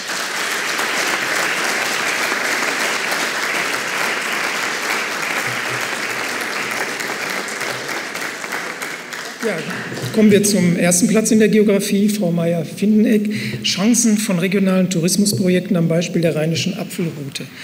Äh, Maja Finnbeck greift in ihrer Facharbeit ein aktuelles Thema der Regionalentwicklung auf, denn die Tourismusbranche boomt und gehört zu den umsatzstärksten Wirtschaftszweigen in Deutschland, noch anders als die Auto- oder Immobilienindustrie. Bemerkenswert ist hierbei besonders der Beschäftigungseffekt durch kleinere und mittlere Unternehmen, die zunehmend auch in, für ländliche Regionen ähm, relevant sind. Und Förderprojekte ähm, fördern dieses und das Tourismusprojekt Rheinische Apfelroute ist seit Mai äh, 19 hier eröffnet. Nach einer aussagekräftigen und sensibilisierenden Einleitung wird ein theoretisch orientierter Überbau konstruiert, der als Triangulation aus Regional-, Fahrrad- und Thementourismus bezeichnet werden kann. Und ähm, Dabei fällt auf, dass den Ausführungen eine sehr ordentliche Literaturrecherche vorausgegangen ist und damit ein gutes wissenschaftliches Fundament ähm, gelegt ist. Die Literaturfundstellen sind im Text vorbildlich und korrekt zitiert, wie man es sich in mancher universitären Hausarbeit wünschen würde. Neben der Sekundärliteratur verwendet Frau Finfeck aber auch primäre Quellen, beispielsweise Daten aus amtlichen Statistikportalen, um aktuelle Entwicklungen zu belegen. Der Hauptteil der Facharbeit geht über die Deskription dieses Routenprojekts aber weit hinaus. Die Kandidatin kontextualisiert die Route und deren Verlauf mit topografischen und geografischen Grundlagen, bevor sie auf das Projekt im engeren Sinne eingeht. Dabei arbeitet sie besonders Facetten der spezifischen Kulturlandschaft sehr schön heraus. Und die, der praktische Bezug wird anschließend durch das Aufzeigen des Partnernetzwerkes hergestellt, das die Route förmlich zum Leben erwecken will. Egal, ob das Obsthöfe sind, Gastronomiebetriebe, Einzelhandel, Fahrradinfrastruktur, alle Beteiligten müssen in vernetzter Struktur klare Qualitätsstandards erfüllen, damit sie in das Marketing mit einbezogen werden können. Und im Marketing, so stellt Frau Findeck fest, äh, stehen die gesundheitsbewussten Best-Ager sowie die erlebnisorientierten Familien im Fokus. Ich musste nachgucken, ob ich noch dazugehöre. Ja, ich darf also auch diese Route fahren. Die Grundlage der Ausführung zum Apfelroutenprojekt äh, bildet eine Reihe von grauen Literaturtiteln und vor allen Dingen Auswertung von leitfadengestützten qualitativen Interviews, wie etwa mit der Projektleitung, aber auch mit Expertinnen aus der Wirtschaftsförderung von drei beteiligten Gemeinden, sodass also hier auch ähm, empirisches Originalmaterial da ist. Und wenn Frau Finneck anschließend eine Bewertung des Projektes im Kontext des regionalen Tourismus vornimmt, dann setzt sich das überdurchschnittliche Niveau vor, fort.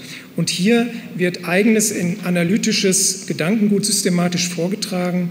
Äh, ähnlich gut ist auch der Vergleich mit dem Ruhrtalradweg, der indikatorbasiert und wirklich als eigenständige Leistung gearbeitet worden ist. Sehr schön. Und hier erkennt die Kandidatin durchaus noch Problempunkte bei der Apfelroute, denn im Gegensatz zum Ruhrtalweg ist sie weder in ein übergeordnetes Tourismuskonzept eingebettet, noch ist das Regionalimage ähnlich positiv besetzt wie etwa das touristische Sauerland. Und in ihrem in ihrem gehaltvollen und kompetenten Fazit bescheinigt Frau Finneck der Apfelroute eine, ein mehrdimensionales Chancenpaket für die künftige Entwicklung, weist aber auch auf die endogenen Potenziale hin. Zitat aus der Arbeit. Als ein besonderes und für den regionalen Tourismus nicht aufgeführtes Ziel kann sie auch ein für intraregionale Gäste die Kenntnis und Erlebbarkeit der eigenen Region erreichen und die regionale Verbundenheit fördern. Zitat Ende. Doch wird dieser Entwicklungsweg kein leichter sein. Etwas skeptisch sieht sie die Erschließung der endogenen Potenziale im Partnernetzwerk und sie gibt zu bedenken, dass die nahen gelegenen Konkurrenten an Rhein und Ahrtal und auch in der Eifel nicht schlafen. Die gute Nachricht, Frau Finneck, übermorgen unterschreibt der Obsthof Otto Schmitz-Hübsch eine, eine zertifizierte Partnerschaft. Ähm, ich weiß nicht, ob das auf Ihre Anregung mit passiert oder dadurch, dass Sie schwer in dem Topf gerührt haben, aber wenn, äh, schreiben Sie sich diesen Erfolg mit auf die Fahne. In der Gesamtschau abschließend gesagt hat Frau Finnbeck eine hervorragende Facharbeit vorgelegt, die sich von den eingereichten Arbeiten hervorhebt und deshalb verdient den ersten Platz einnimmt. Die Arbeitsweise, die Methodik können universitäres Niveau erreichen. Systematik, Analytik, Empirie, Terminologie, das Maß an Eigenständigkeit äh, sind im obersten Bereich angesiedelt und deswegen haben die den ersten Platz verdient. Herzlichen Glückwunsch.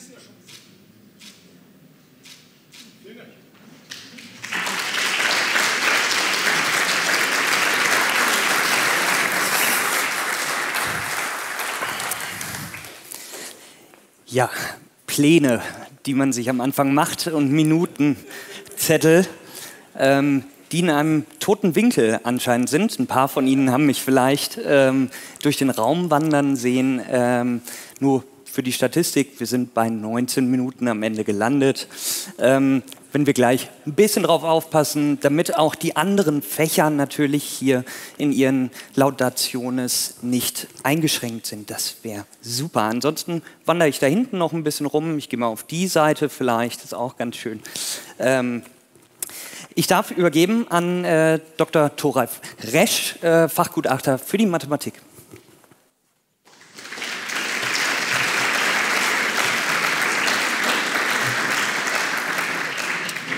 Meine Damen und Herren, liebe Freunde der Mathematik, äh, natürlich holen wir das rein, das ist gar kein Thema. Ich mache mir da gar keine Sorgen, schon in minus eins Minuten sind wir wieder bei Null, das ist in Ordnung. Ähm, ich habe äh, keine große Zeit, Sie haben schon gehört, deswegen äh, bringe ich jetzt keine weiteren Axiome, wie wir die Arbeiten begutachtet haben. Alles ist nämlich gesagt worden, originell durfte es sein, originell war es und genau darauf haben wir geachtet. Deswegen bitte ich jetzt nach vorne unsere drei Preisträgerinnen und Preisträger. Auf Platz drei in der Mathematik Leonie Krupp, bitteschön, kommen Sie nach vorne.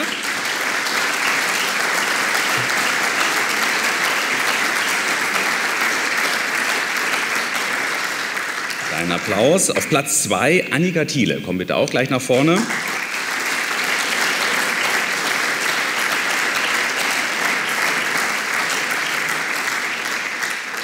Und auf Platz drei Dominik Matzgei äh, sowie bitteschön ein Vertreter vom Ernst-Moritz-Arndt-Gymnasium, bitte ich nach vorne.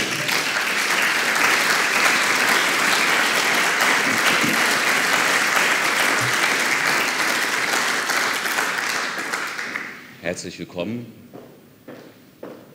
Schön, dass Sie alle da sind.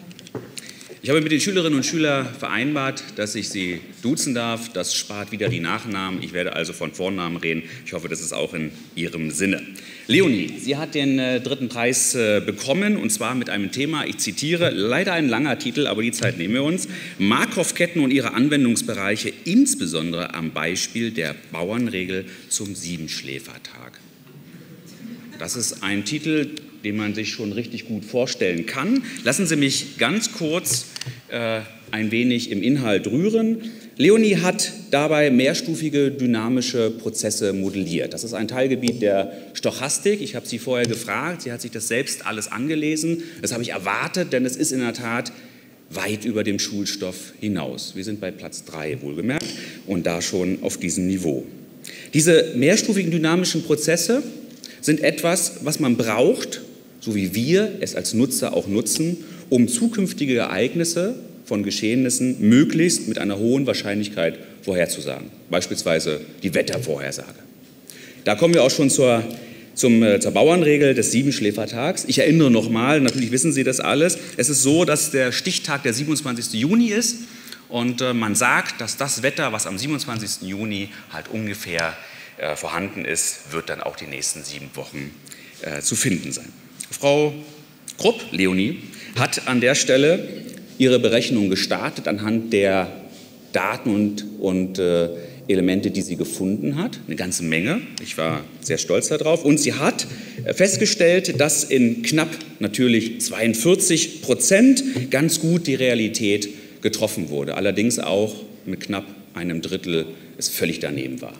Was Sie jetzt daraus schließen für die Bauernregel und äh, die Echtheit, da müssen Sie dann jetzt die Leonie gleich nochmal fragen.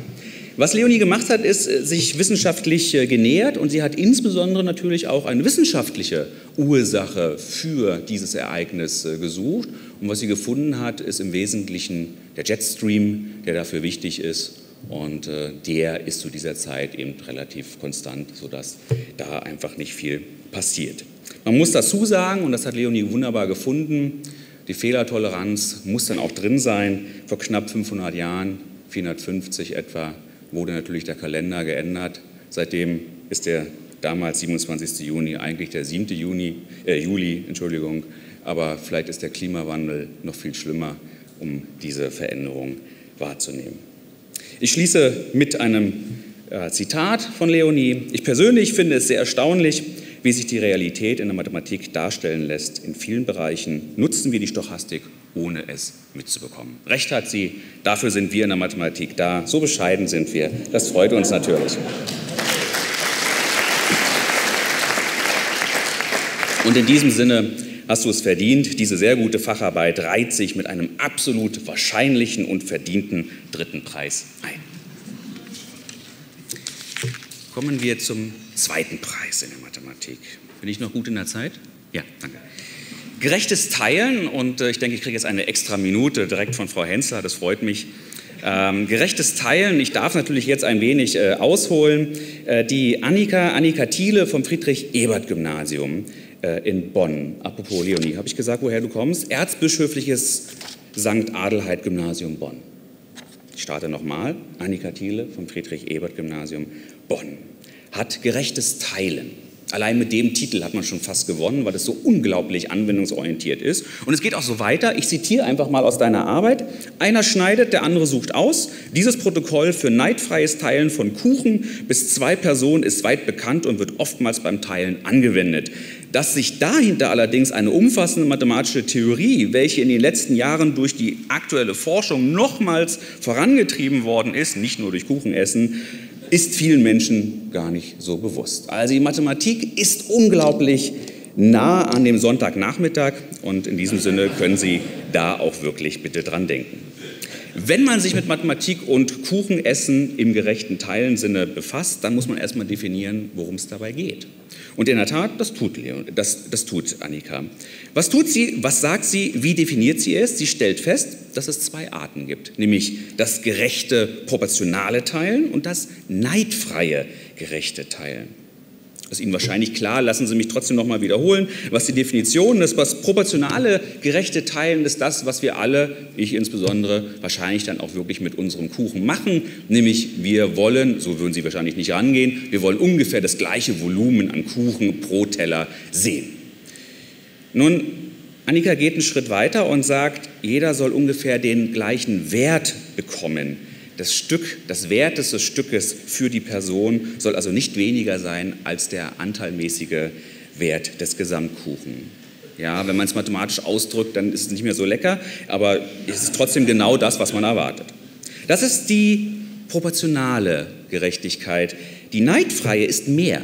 Also insbesondere geht die darüber hinaus und ist damit auch schwieriger. Ich zitiere einfach mal ein Beispiel, was du gegeben hast. Da wird es uns allen klar.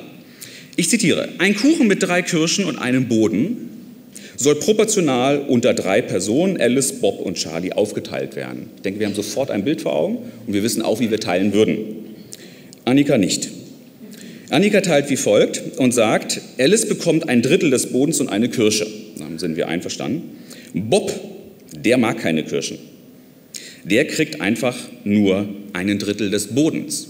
Es würde für ihn, jetzt bitte aufpassen, auch keinen Unterschied machen, ob er noch eine Kirsche bekommt oder nicht, denn er hat ja keinen Wert in der Kirsche. Das heißt, Bob ist also auch zufrieden ohne Kirsche. Und Charlie freut sich umso mehr, weil er kann zwei Kirschen und ein Drittel des, mehr Drittel gibt es ja nicht, des Kuchens bekommen. Sodass insgesamt alles in Ordnung ist. Es ist insbesondere nach dem Wert hin proportional aufgeteilt, weil man mindestens den Wert bekommen hat, den man auch bekommt. Allerdings ist es nicht neidfrei, weil natürlich Alice durchaus neidisch auf Charlie sein kann, denn er hat nun mal zwei Kirschen bekommen und Alice nur eine. Gut, in diesem Sinne, denken Sie dran, wenn Sie das nächste Mal an Ihrem Kuchen schneiden. Annika ist Expertin, laden Sie sie gerne ein. Ich zitiere nochmal aus meinem letzten Satz, diese Arbeit macht Lust am Lesen des Textes, ist wunderbar mathematisch aufgearbeitet und macht Appetit auf Kuchen. Sie wird insgesamt mit einem sehr gerechten zweiten Preis ausgezeichnet.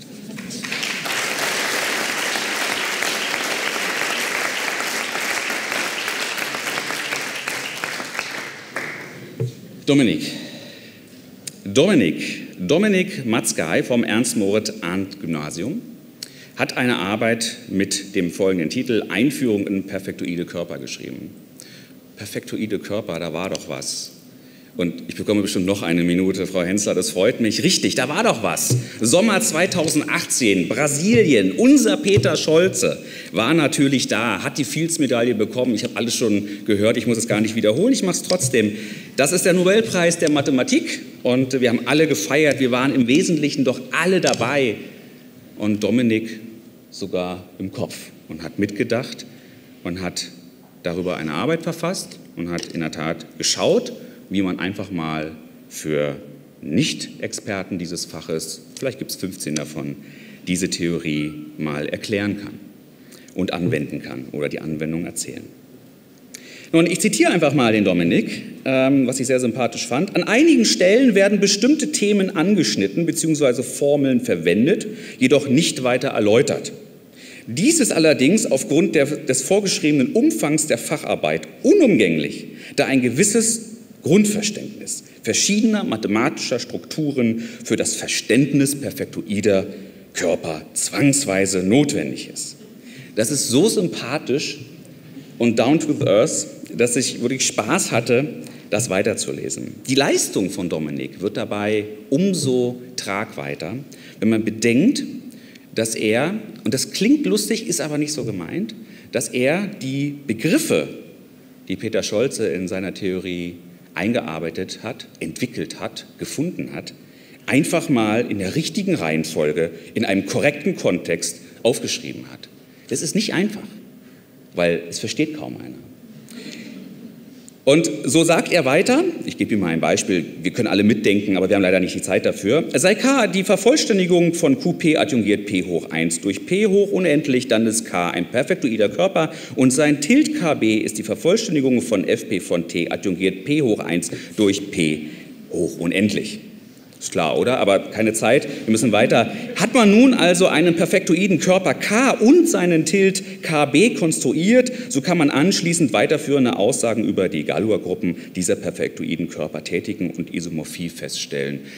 Ich stoppe mal hier. Wer hätte es schöner formulieren können? Naja, Peter Scholze vielleicht, das hat er auch. Ich habe ihm natürlich sofort diese Arbeit vorgelegt. Ich hoffe, das schockiert dich jetzt nicht. Ähm, ich habe das Schild gesehen, neun Minuten.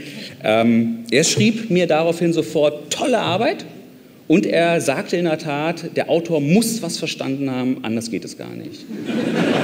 Und das ist wohl das größte Lob, was du an der Stelle bekommen kannst. Herzlichen Glückwunsch.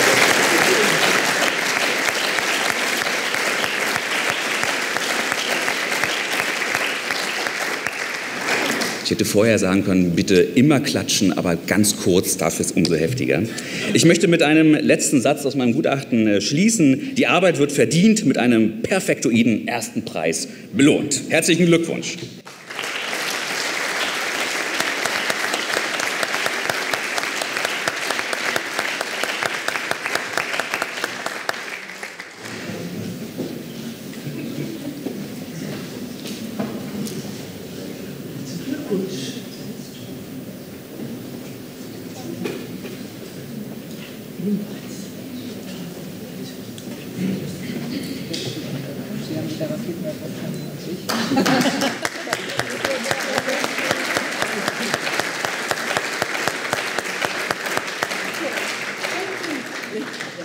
Ganz herzlichen Glückwunsch. Ganz toll. Vielen, ganz toll. Vielen, vielen Dank. So, Sie kennen das Spiel ja schon. Kommen Sie ein bisschen.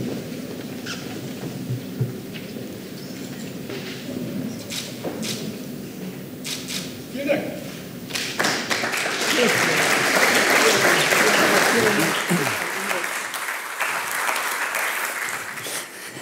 Herzlichen Dank. Äh, zwölf Minuten. Ähm, ich habe die beiden extra Minuten draufgerechnet. Ähm, netto, netto 10. Ähm, das heißt voll im Soll. Und man soll sich ja immer an der eigenen Nase messen. Äh, und ähm, ich darf heute den ähm, Professor Dr. Glaum vertreten, der hier der Fachgutachter für die Chemie ist. Ähm, Ehrlicherweise als Medienwissenschaftler ist mein erster Zugang zur Chemie die Serie Breaking Bad gewesen. Ähm, dementsprechend verlasse ich mich hier auf, das, ähm, auf den Text, auf die Laudatio von Herrn Professor Glaum und ähm, verlese die, ähm, wenn das in Ordnung ist. Ich hole die Stoppuhr raus. Ähm, zur Not äh, bremsen Sie mich. Ähm, ich versuche es so gut wie möglich vorzulesen und rüberzubringen, was ähm, Herr, Dr., Herr Professor Dr. Glaum hier an Ihren Arbeiten ausgezeichnet fand. Hm. In diesem Jahr haben sich sieben Schülerinnen und sechs Schüler um die drei Preise im Fach Chemie beworben. Thematisch erstrecken sich die Arbeiten von umweltchemischen oder umweltpolitischen Fragestellungen, wie etwa das wachsende Problem von Plastikmüll in den Weltmeeren, Perseitsgefahren und Nutzen im Waschmittel oder wie nachhaltig ist Bioethanol. Über klassische Untersuchungen zur anorganischen äh, Chemie in wässriger Lösung bis hin zur Untersuchung von Fragestellungen im Bereich der organischen, forensischen, klinischen und physikalischen Chemie, etwa die Funktionsweise des Kontaktlinsenreinigers Concair Sept der Marke Hecht Kontaktlinsen GmbH, Grundtechniken der Forensik Spuren auf chemische Weise sichtbar machen oder Chemiefarben der Natur. Neben den meistens mit einem einleitenden Theorieteil versehenen, ansonsten aber eher experimentell geprägten Arbeiten stehen auch einige rein theoretische Facharbeiten. Alle Facharbeiten sind im Vergleich zum üblichen Schulniveau weit überdurchschnittlich. In Bezug auf die inhaltlich-wissenschaftliche Durchdringung der Themen, wie auch durch die Intensität und das Engagement, mit der im Rahmen der Schul- oder Heimlabore experimentiert wurde. Herr Glaum ist sich sicher, dass selbst die Schülerinnen und Schüler, deren Facharbeiten nicht ausgezeichnet werden, von der Auseinandersetzung mit ihren Forschungsprojekten und dem Zusammenfassen der erzielten Ergebnisse weit über die Schulzeit hinaus profitieren werden. Er gibt einen kleinen Trost mit, den ich genauso mal zitieren will. Zum Trost kann ich all denen mitgeben, die heute keinen Preis bekommen, dass meine eigenen Anstrengungen in einem Jugendforschprojekt vor vielen Jahren auch nicht von irgendeinem vorzeigbaren Erfolg gekrönt waren. Trotzdem hat die Chemie nie ihren Reiz für mich verloren. Trotz des insgesamt sehr ordentlichen Niveaus der Facharbeiten in Chemie ist es Herr Glaum nicht schwer gefallen, drei besonders bemerkenswerte zu identifizieren.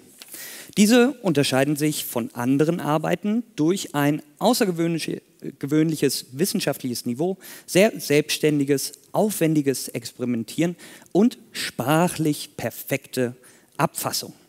Der dritte Preis geht an Friedrich Vermeulen vom Clara Schumann Gymnasium in Bonn. Hier vorne, kommen Sie gerne nach vorne. Herzlichen Glückwunsch, Jürgen. Ich werde versuchen, so gut wie möglich die Inhalte wiederzugeben. Springen Sie rein, wenn Sie sich äh, missverstanden fühlen. Herr Vermeulen gibt in seiner Arbeit ähm, mit dem Thema die organische Photovoltaikzelle zunächst eine sehr gut gelungene, wissenschaftlich korrekte Beschreibung der Funktionsweise von Solarzellen.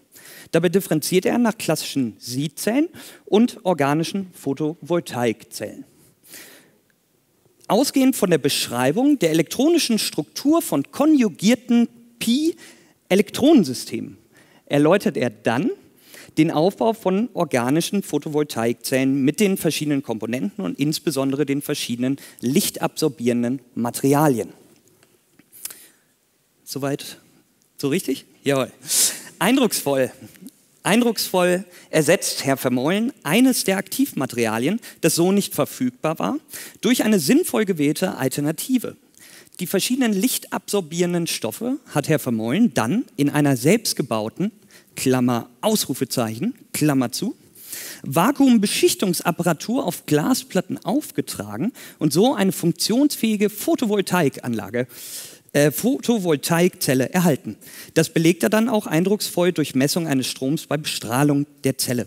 Neben dem äh, experimentellen Einfallsreichtum und Geschick haben Herr Glaum äh, die kritische Auseinandersetzung mit den erzielten Ergebnissen und die daraus abgeleiteten Verbesserungsvorschläge für Folgeprojekte beeindruckt. Ich glaube, das verdient einen Applaus.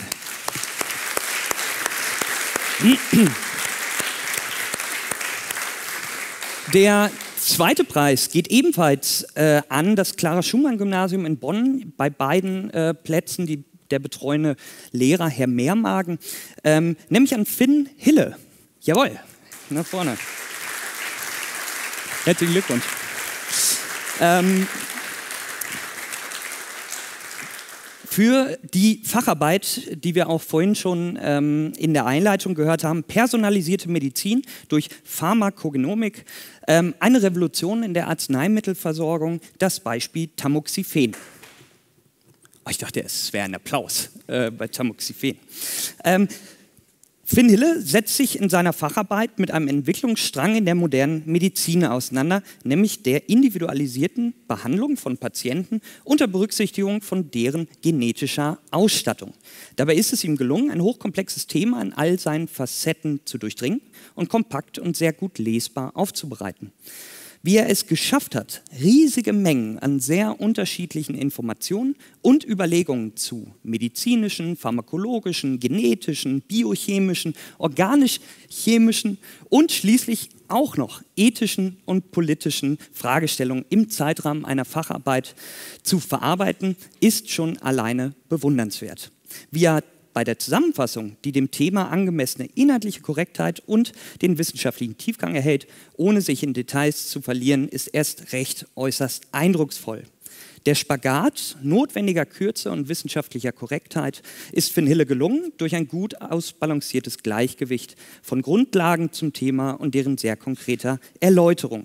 Die Arbeit könnte problemlos als Bachelorarbeit im Bereich Biochemie, Pharmazie oder medizinische, äh, medizinische Chemie eingereicht werden. Sie sprachlich formal absolut fehlerfrei. Und auch hier eine persönliche Note von Herrn Glaum. Ich habe diese Arbeit zu einem Thema, das mir bislang nicht vertraut war, mit großer Neugier und viel Gewinn gelesen. Auch dafür vielleicht nochmal ein Applaus.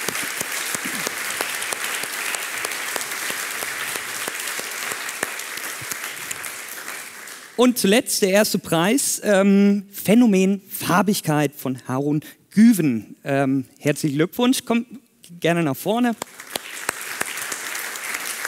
Herzlichen Glückwunsch. Vom Siegtal-Gymnasium Eitdorf, der betreuende Lehrer ist hier Herr Ebert. Äh, sind Sie da? Ah, vielleicht noch äh, ein Vertreter der Schule? Ja, kommen Sie gerne nach vorne. Ähm, die Facharbeit ähm, von Harun Güven hat Herrn Glaum sehr beeindruckt. Hallo, herzlichen Glückwunsch. Ähm, die konsequente Verfolgung einer wissenschaftlichen Fragestellung von den Grundlagen über das Aufstellen von Hypothesen bis hin zur Durchführung der Experimente, die quantitative Auswertung und schließlich der kritische Vergleich mit den Hypothesen war vorbildlich. Am Beispiel von Beta-Carotin geht Herr Güven der Frage nach der Farbigkeit solcher Verbindungen nach. Ähm, dazu beginnt er mit einfachen Überlegungen zum Atombau und den daraus folgenden Erkenntnissen zur elektronischen Struktur von Atomen. Daraus erarbeitet er sich dann das theoretische Rüstzeug zur Beschreibung der chemischen Bindung in Molekülen und von deren elektronischer Struktur. Das alles fasst Herr Güven dann zur Berechnung eines Erwartungswertes für die von Beta-Carotin am besten absorbierte Lichtwellenlänge zusammen. An dieser umfangreichen, fehlerfreien theoretischen Betrachtung schließt Herr Güven seine Experimente zur spektroskopischen Charakterisierung von Beta-Carotin sowie dessen chemische Veränderung an. Über die, hier ein kleiner, auch ein kleiner, ähm, eine kleine persönliche Note. Ähm, über ähm, die Beschreibung der Bromierung von Carotin, die an ein paar Stellen Ungenauigkeiten hatte, ähm, kann man aber hinwegsehen, weil sie verblasst ähm, aufgrund der eindrucksvollen Facharbeit. Äh, äußerst anspruchsvoller Theorieteil, dessen Anwendung auf experimentelle Beobachtung. Äh, Herr Glaum kommt zu dem Schluss, dass Herr Güven hier mit seiner Arbeit das Niveau von sehr guten Bachelorarbeiten erreicht. Dafür vielleicht auch nochmal ein Applaus.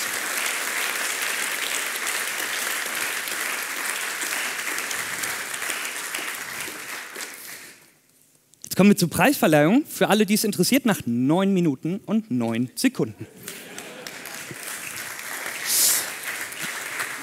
So.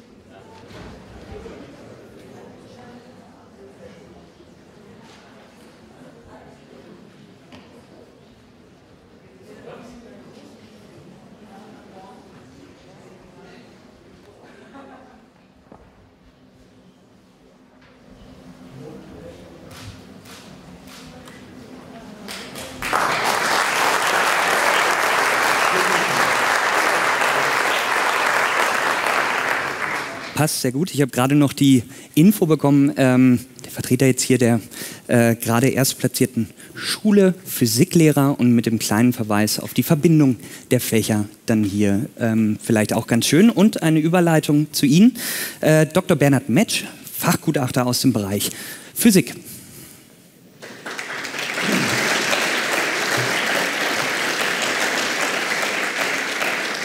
Guten Abend, meine Damen und Herren. Also ich grüße Sie auch ganz herzlich hier. Ähm, ich habe mit den Vorrednern gemeinsam, dass ich äh, auch die Gutachten, nachdem ich, aus dem ich äh, gleich äh, etwas zitieren werde, auch selber nicht erstellt habe. In der Physik begutachten wir die verschiedenen Facharbeiten immer mit einer Gruppe von vier Kollegen. Und das sind Dr. Ulrich Blum hier anwesend, dann weiterhin Dr. Tobias Jung und Dr. Frank Fewinger, die beide leider heute Abend hier nicht anwesend sein konnten. Über die Kriterien, die wir anwenden, wurden schon einige Worte verloren, also ich kann mich da nur anschließen. Ich bin selber theoretischer Physiker, Trotzdem ist es so, dass bei uns bei den Facharbeiten in Physik also die experimentelle Komponente eine große Rolle spielt und wir es immer gerne sehen, wenn die, äh, die Preisträger, Preisträgerinnen oder die, die Leute, die an sich die Arbeiten einreichen, in der Tat auch selber experimentieren, selber einen Versuch durchführen und das dann auch auswerten. Ich äh, möchte dann äh, nach vorne bitten Frau Thea Borstel von der Christophorus-Schule in Königswinter, die in der Tat eine Facharbeit zu Wolfstöne, es wurde schon gesagt, auch so gemacht hat. Frau Borstel, guten Tag.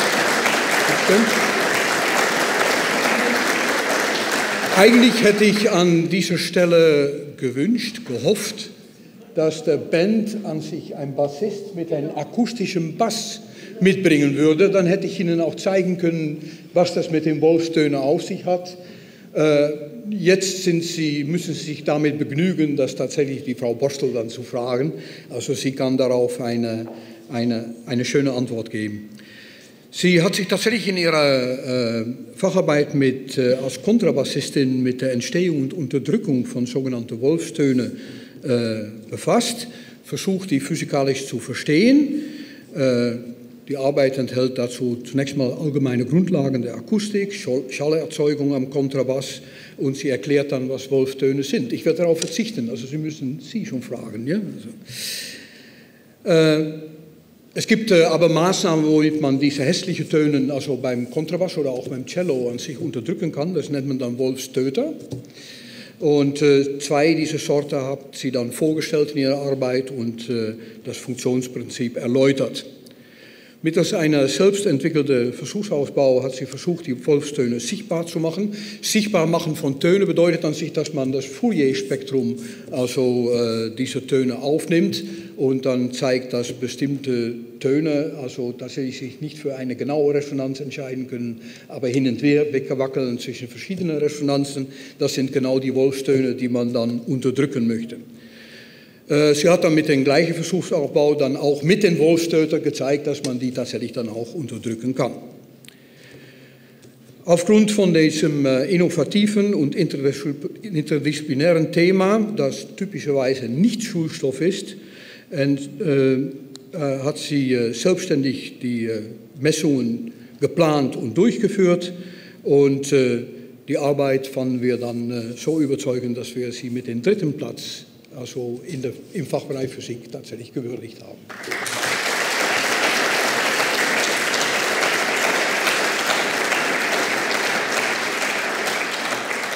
Der zweite Preis in Physik geht an äh, Daniel Kloppenburg vom äh, Rhein-Sieg-Gymnasium in St. Augustin. Kommen Sie nach Oh, Herr Kloppenburg kenne ich schon, weil den, also den habe ich schon mal gesehen. Er war nämlich Teilnehmer auf äh, der Bonner Schülerakademie in Physik. Also jährlich bietet die Fachgruppe Physik, Astronomie an der Universität Bonn zusammen mit den äh, an der Universität Bonn angesiedelten ZTI Schülerlabor Physikwerkstatt Rheinland einmal im Jahr also Abiturienten oder auch andere aus der Oberstufe die Möglichkeit an, an einen Intensivkurs in Physik, einen wöchentlichen Kurs teilzunehmen, dort zu experimentieren, dort Vorlesungen zu hören. Leider auch meine Vorlesung zur theoretischen Physik, das haben Sie dann auch erleiden müssen. Äh, auch Astronomie ist ein Thema und offensichtlich hat Ihnen das so äh, äh fasziniert, dass die äh, Radioastronomie, die im in Bonn mit einem Max-Planck-Institut für Radioastronomie tatsächlich gewürdigt wird. Sie können Gift darauf einnehmen, dass die Radioastronomie in Bonn also erste Klasse ist. Ansonsten gäbe es kein MP-Institut. Das hat ihnen dann so äh, fasziniert, dass sie an den Astropeiler Stockert, den sie damals auch besucht haben, also mit dem Radioteleskop, das ist ein 25 äh, Meter Spiegel-Radioteleskop, äh, weitere Aufnahmen gemacht haben und die Spektren der sogenannten H1-Linien in, äh, in unsere eigene Galaktis dann aufgenommen haben. Und ähm, aus diesen Spektren, die sie dann aufgenommen haben, kann man dann mit Doppelverschiebung kann man äh, an sich ein Rotationsprofil, also bedeutet eigentlich über die Rotationsgeschwindigkeit der Galaxis kann man dann etwas herausfinden, das haben sie dann herausgerechnet und mit Hilfe der Keplerischen Gesetzen kann man darauf dann Rückschlüsse schließen, auf wie viel Masse in unserer Galaxis eigentlich sein müsste. Äh, das ist ein, äh, ein aktuelles Thema, also tatsächlich solche Rotationsspektren zeigen uns, dass eigentlich äh, viel mehr Masse in unserer Galaxis vorhanden sein muss, als dass wir im sichtbaren oder auch in anderen Bereichen wirklich wahrnehmen können. Das haben sie auch alles gemacht, dazu eine Auswertung gemacht. Und äh, jetzt zitiere ich aus dem Gutachten. Die Facharbeit trägt Züge einer wissenschaftlichen Arbeit. Also das ist schon mal gut. Züge einer wissenschaftlichen Arbeit. Die Erklärungen und Rechnungen sind kurz und verständlich, während die experimentellen Auswertungen im Rahmen schulischer Möglichkeiten sehr ordentlich durch, durchgeführt wurden. Eine ausführliche, jetzt kommt ein Kritikpunkt, also eine ausführliche Berücksichtigung von Messgenauigkeiten oder auch Messungenauigkeiten, je nachdem, wäre wünschenswert und würde die experimentellen Ergebnisse sicher noch aufwerten. Alles in allem handelt es sich aber um eine gelungene Arbeit, die mit dem zweiten Platz im äh, Fach Physik, also in der Hans-Riegel Fachpreise, tatsächlich gewürdigt wird. Herr Kloppenburg.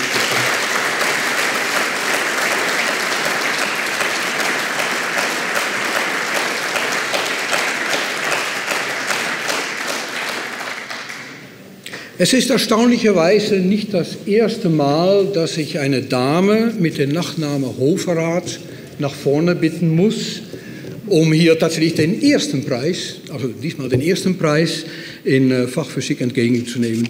Diesmal ist das äh, Sarah Hofrath äh, vom Erzbischöflichen Clara Frei Gymnasium hier in Bonn. Kommen Sie davon? Hallo und eine,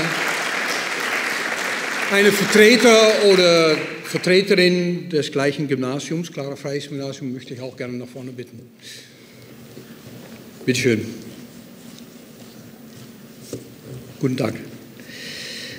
Äh, Frau Hofrath hat mit dem selbstgebauten Gitterspektrometer die Spektren von verschiedenen Leuchtmitteln bestimmt. Und sie hat auf sehr schöne Art äh, diskutiert und erklärt, also wie äh, man einen Unterschied zwischen äh, systematischen und statistischen Effekten in ihrer Messung, die sie dann durchgeführt hat, tatsächlich auch machen kann.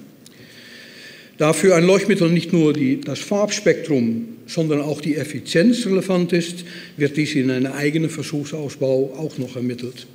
Auch hier wertet sie auf vorbildliche Weise ihre Messergebnisse aus und kann in der Tat zeigen, dass LED-Leuchtmittel deutlich effizienter sind als die klassische Glühbirne.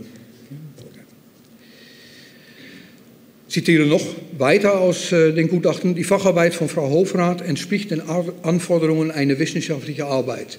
Merken Sie den Unterschied zwischen der Würdigung vorher, also zweiten, ersten Platz. Ne?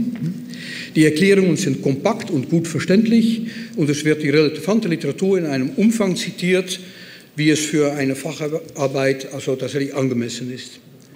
Am überzeugendsten an der Arbeit ist das hohe Niveau der Auswertung, insbesondere die selbstkritische Wertung der erhaltenen Ergebnisse und die sehr gute Diskussion der Fehlerquellen. Herr Kloppenburg, das war gerade, was wir bei Ihnen ein bisschen bemängelt haben. Ja? Genau. Dieser positive Gesamteindruck führt zur Auszeichnung mit dem ersten Platz der Dr. Hans Riegel Fachpreise in Physik äh, an der Rheinische Friedrich-Wilhelms-Universität Bonn. Herzlichen Dank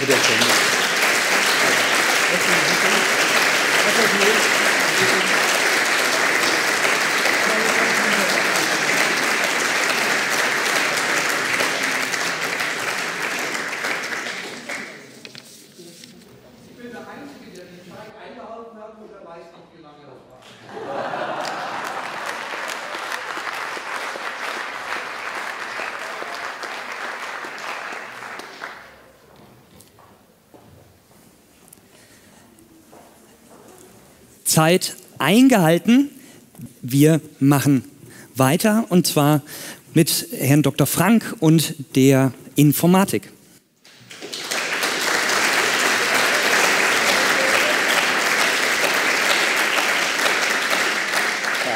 Vielen Dank, vielen Dank. Ähm, auch nochmal herzlich, äh, herzlich begrüßt von mir, für alle Preisträger und alle anderen Gäste, die auch da sind. Redundanz, wir wollen jetzt mal versuchen, Redundanz zu reduzieren. Wobei Redundanz in der Informatik eigentlich eine ganz wichtige Sache ist, die auch sehr hilfreich ist bei der einen oder anderen äh, Sache. Aber wir lassen das jetzt mal. Ich möchte aber eine Sache nochmal sagen, als letzter Redner. Ähm, der Grund, wir äh, in der Informatik sind zum sechsten Mal hier in Bonn bei der Fachpreisverleihung für die Hans-Riegel-Fachpreise dabei und deswegen auch die jüngsten, zumindest in Bonn und die äh, letzten Redner. Es ist immer so, die Vorreden inspirieren mich immer in irgendeiner ein oder anderen Richtung und das äh, wird mir jetzt schwerfallen, meine 13 Minuten lang vorbereitete Rede entsprechend einzuhalten. Aber ich werde mich mal sehr bemühen. Äh, in der Informatik sind Protokolle auch sehr, sehr wichtig. Protokolle sind fest definierte Spielregeln und eins der Protokolle für uns sagte, dass wir sofort alle drei Preisträger benennen, auf die Bühne äh, bitten mit allen Daten. Das möchte ich jetzt genau einhalten, dieses Protokoll, und bitte jetzt als ersten den dritten Preisträger, den Herrn Noah Bann, äh, auf die Bühne und er hat eine Facharbeit zum Thema Programmierung eines Roboters zur Detektion einer Person in unmittelbarer Umgebung eingereicht. Er ist Schüler des Ernst-Moritz-Arndt-Gymnasiums und der betreuende Lehrer ist der Herr Pfannenbohn. Pfannenbohn.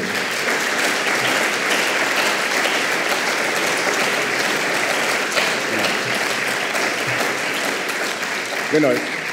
Der zweite Platz geht an Herrn Benedikt Schövens. Thema Möglichkeiten und Grenzen von neuronalen Netzen und Untertitel Wann sind neuronale Netze herkömmlichen Algorithmen vorzuziehen?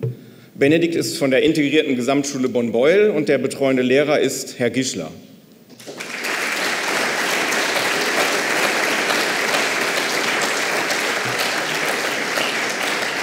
Für den für den ersten Platz haben wir heute eine kleine Ausnahme. Ich würde eigentlich gerne die Schülerin Frau Eileen Reuter auf die Bühne bitten, die aber durch ihre betreuende Lehrerin Frau Sabine Mutschke vertreten wird. Die möchte ich gerne nach vorne bitten.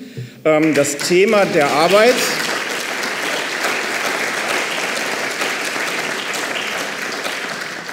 Äh, Entschuldigung, das Protokoll hat Klatschen an dem Moment nicht vorgesehen. Das ist aber natürlich willkommen, selbstverständlich. Das Thema der Arbeit von Eileen ist Malware, Auswirkungen sowie Bekämpfung am Beispiel von Viren und einer Virensimulation mit einem Java-Programm. Eileen ist vom Alexander von Humboldt-Gymnasium Bornheim. Die Frau Mutschke als betreuende Lehrerin steht hier. Und meine Frage ist noch, die erstplatzierte Schule, Sie nehmen auch die Vertretung dafür wahr. Es kommt, die dürften noch eine weitere Person hier hinschicken, aber gut. So, dann äh, beginnt jetzt quasi meine 13-minütige Rede. Äh, am besten auf meinem Platz, da sehe ich das Schild. Ich habe es richtig verstanden. Neun Minuten heißt, das sind noch neun Minuten, ne? Neun Minuten bedeutet äh, die goldene letzte Minute. Ah, okay. Ja, ja. Ich denke mal, die Getränke stehen noch kühl und äh, wir schaffen das auch noch. Ich kann mich noch erinnern, letztes Jahr bei der Präsentation der Gutachten habe ich eine streng monoton steigende Folge von Zahlen genannt, nämlich 2, 5, 8, 9, 15. Und zwar waren das die Anzahl der eingereichten Facharbeiten der letzten fünf Jahre. Die Zahl der Arbeiten, die dieses Jahr in der Informatik eingereicht wurden, haben wir schon gehört. Redundanz. Soll ich so noch mal sagen? Weiß jemand die noch? 13. Nanu, da stimmt doch jetzt was mit der streng monotonen Folge nicht mehr. Leider zwei weniger als letztes Jahr. Wir werden also nicht mehr. Aber wir Gutachter sind sehr, sehr zufrieden gewesen mit diesen 13 Facharbeiten und drei Preisträger bzw. Vertreterinnen stehen ja auch vor uns. Wir sind sehr zufrieden gewesen mit diesen 13 Arbeiten, auch mit dieser Anzahl sind wir sehr zufrieden ähm, und waren auch mit der Vielfalt der eingereichten Themen sehr zufrieden. Und das möchte ich wieder mal durch 13 quasi Stichworte darstellen. Und zwar Roboter Personendetektion, Parkettierung einer Rechteckfläche. Thoralf, das ist schon eigentlich Mathematik. Ich denke mal auch, viele von Ihnen wissen gar nicht, was das genau ist, aber dafür haben wir leider keine Zeit. Neuronales Netz, Kommunikationsnetzanwendung, Unterrichtseinheit Raspberry Pi. Das ist, sage ich dazu, schon ein bisschen didaktisches Thema. In der Arbeit wurde Lernmaterial für die Schule vorbereitet. Dann Roboter in der Chirurgie, SQL-Anfragen und Excel-Datenbestände, QR-Codes, Vier gewinnt und künstliche Intelligenz, Malware und Virensimulation, Möglichkeiten und Grenzen von neuronalen Netzen, 3D-Druck und drahtlos steuerbarer Roboter. Sie sehen, da sind unheimlich viele Themen der Informatik dabei, worüber wir Gutachter uns sehr gefreut haben. Und diese Vielfalt an Themen spiegelt auch schon fast ein bisschen wider, was man in so einem Informatikstudium all Themen äh, auch bearbeiten kann. Wir werden auf drei der Stichworte ja gleich noch kommen und ich, äh, ja, nach Protokoll kommen jetzt Auszüge aus den Gutachten. Da unsere Gutachten nicht so super lang sind, sind die Auszüge auch nicht, naja, ich hoffe, äh, unterhaltend genug oder würdigend genug, denn wir wollen ja die Preisträger und Preisträgerinnenvertretung würdigen. Den dritten Preis, der geht an, ja, an Noah Bann. Wie gesagt, das waren die Stichworte Roboter und Personendetektion. In seiner Informatik-Facharbeit befasst sich Herr Noah Bann mit einer wichtigen Problemstellung im Kontext autonomer Agenten. Ein mobiler autonomer Roboter soll Menschen in seiner näheren Umgebung erkennen und danach ansteuern. Er hat in der Facharbeit eine bestehende Roboterplattform verwenden können und damit arbeiten können. Die Facharbeit von Herrn Bann überzeugt durch eine, einen detaillierten Lösungsplan. Die Methodik wird präzise in Teilaspekte unterteilt und beschrieben und resultiert insgesamt in einer, in einer erfolgreichen praktischen softwaretechnischen Umsetzung einer realen Problemstellung. Herr Bann hat seine Strategie und die Software sowohl in der integrierten Simulationsumgebung als auch auf der realen Plattform in einer realen Umgebung getestet, die Ergebnisse evaluiert und die Resultate in methodisch sinnvollen Tabellen zusammengefasst. Es wurde eine anspruchsvolle Aufgabenstellung erfolgreich praktisch umgesetzt, seine Lösung sehr gut dokumentiert und evaluiert. Und das hat uns Gutachter dazu äh, aus den insgesamt 13 Arbeiten äh, entschließen lassen, diese Arbeit auf den dritten Platz zu setzen. Herzlichen Glückwunsch.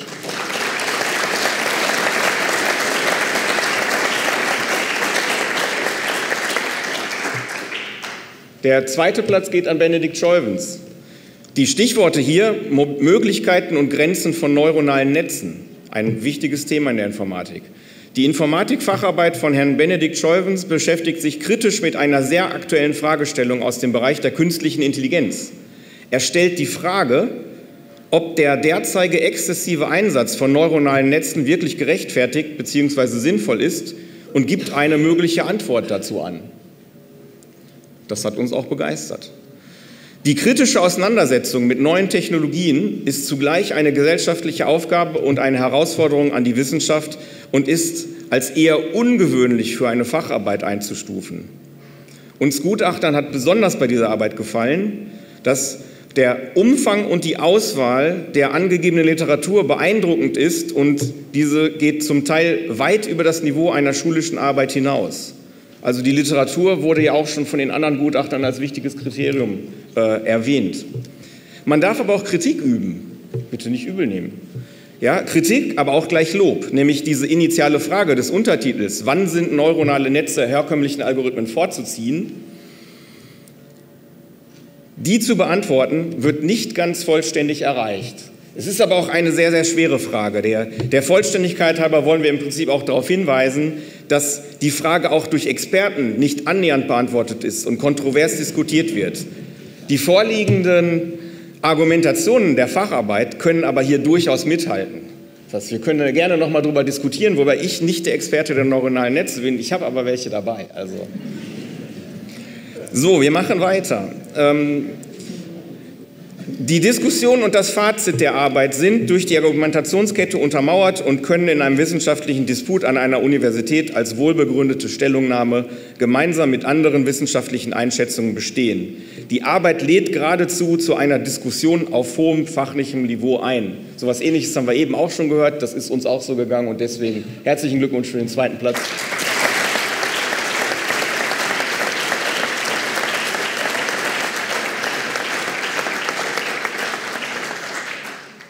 Ich muss Sie natürlich jetzt insbesondere bitten, unsere Worte an die Eileen Reuter mitzunehmen, wobei das ja aufgezeichnet wird und äh, man sich das ja dann anschauen kann. Bei unserem ersten Platz haben wir die Stichworte Malware, Viren, Virensimulation vorhin schon gehört. Ein ganz wichtiges Thema. Noch neun Minuten. Vielen Dank für das Schild. Wenn es um die Gefährdungen durch IT-Systeme im Kontext der Digitalisierung geht, sind KI-Systeme, Algorithmen maschinellen Lernens und deren Anwendung, zum Beispiel bei autonomen Fahrzeugen oder intelligenten Stromzählern, derzeit in aller Munde.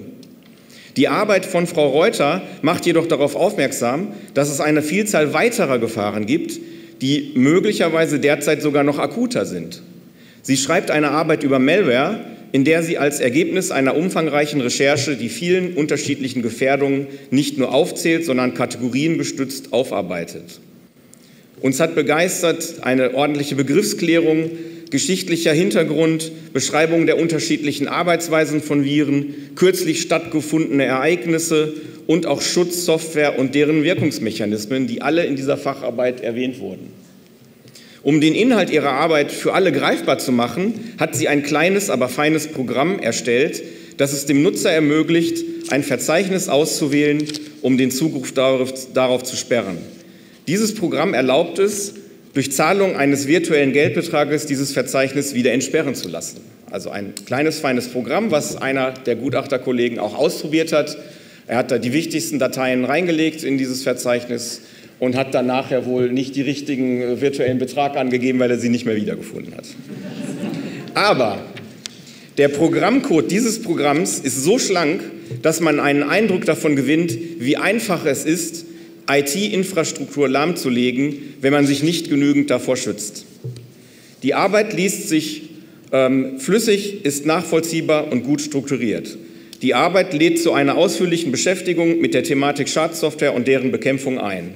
Und unabhängig von der Tatsache, dass bei uns an der Uni Bonn in der Informatik jetzt zum Wintersemester zum ersten Mal oder neu eingeführt der Bachelor-Studiengang Cybersecurity eingeführt wird, unabhängig davon haben wir diese Arbeit aufgrund der genannten Kriterien für dieses Jahr auf den Platz 1 der Facharbeiten gesetzt. Herzlichen Glückwunsch.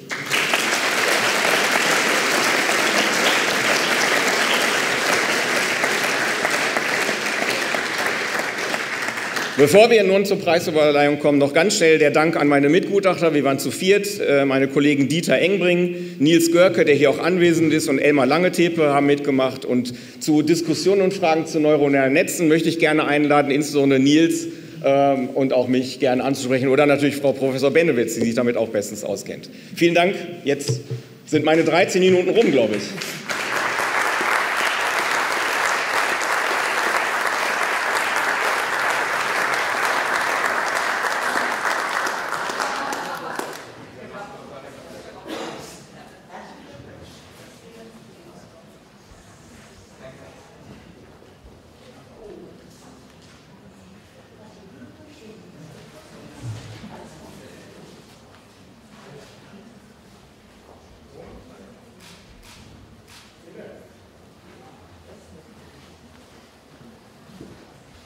Herzlichen Dank. Jetzt auch die letzte Auflösung noch. Wir sind bei 11 Minuten und 43 gelandet am Ende für die versprochenen 13 Minuten. Also in dem Sinne sehr, sehr gut. Äh, minus zwei, ja. Genau, ein kleiner Applaus vielleicht für alle Fachgutachterinnen und Fachgutachter.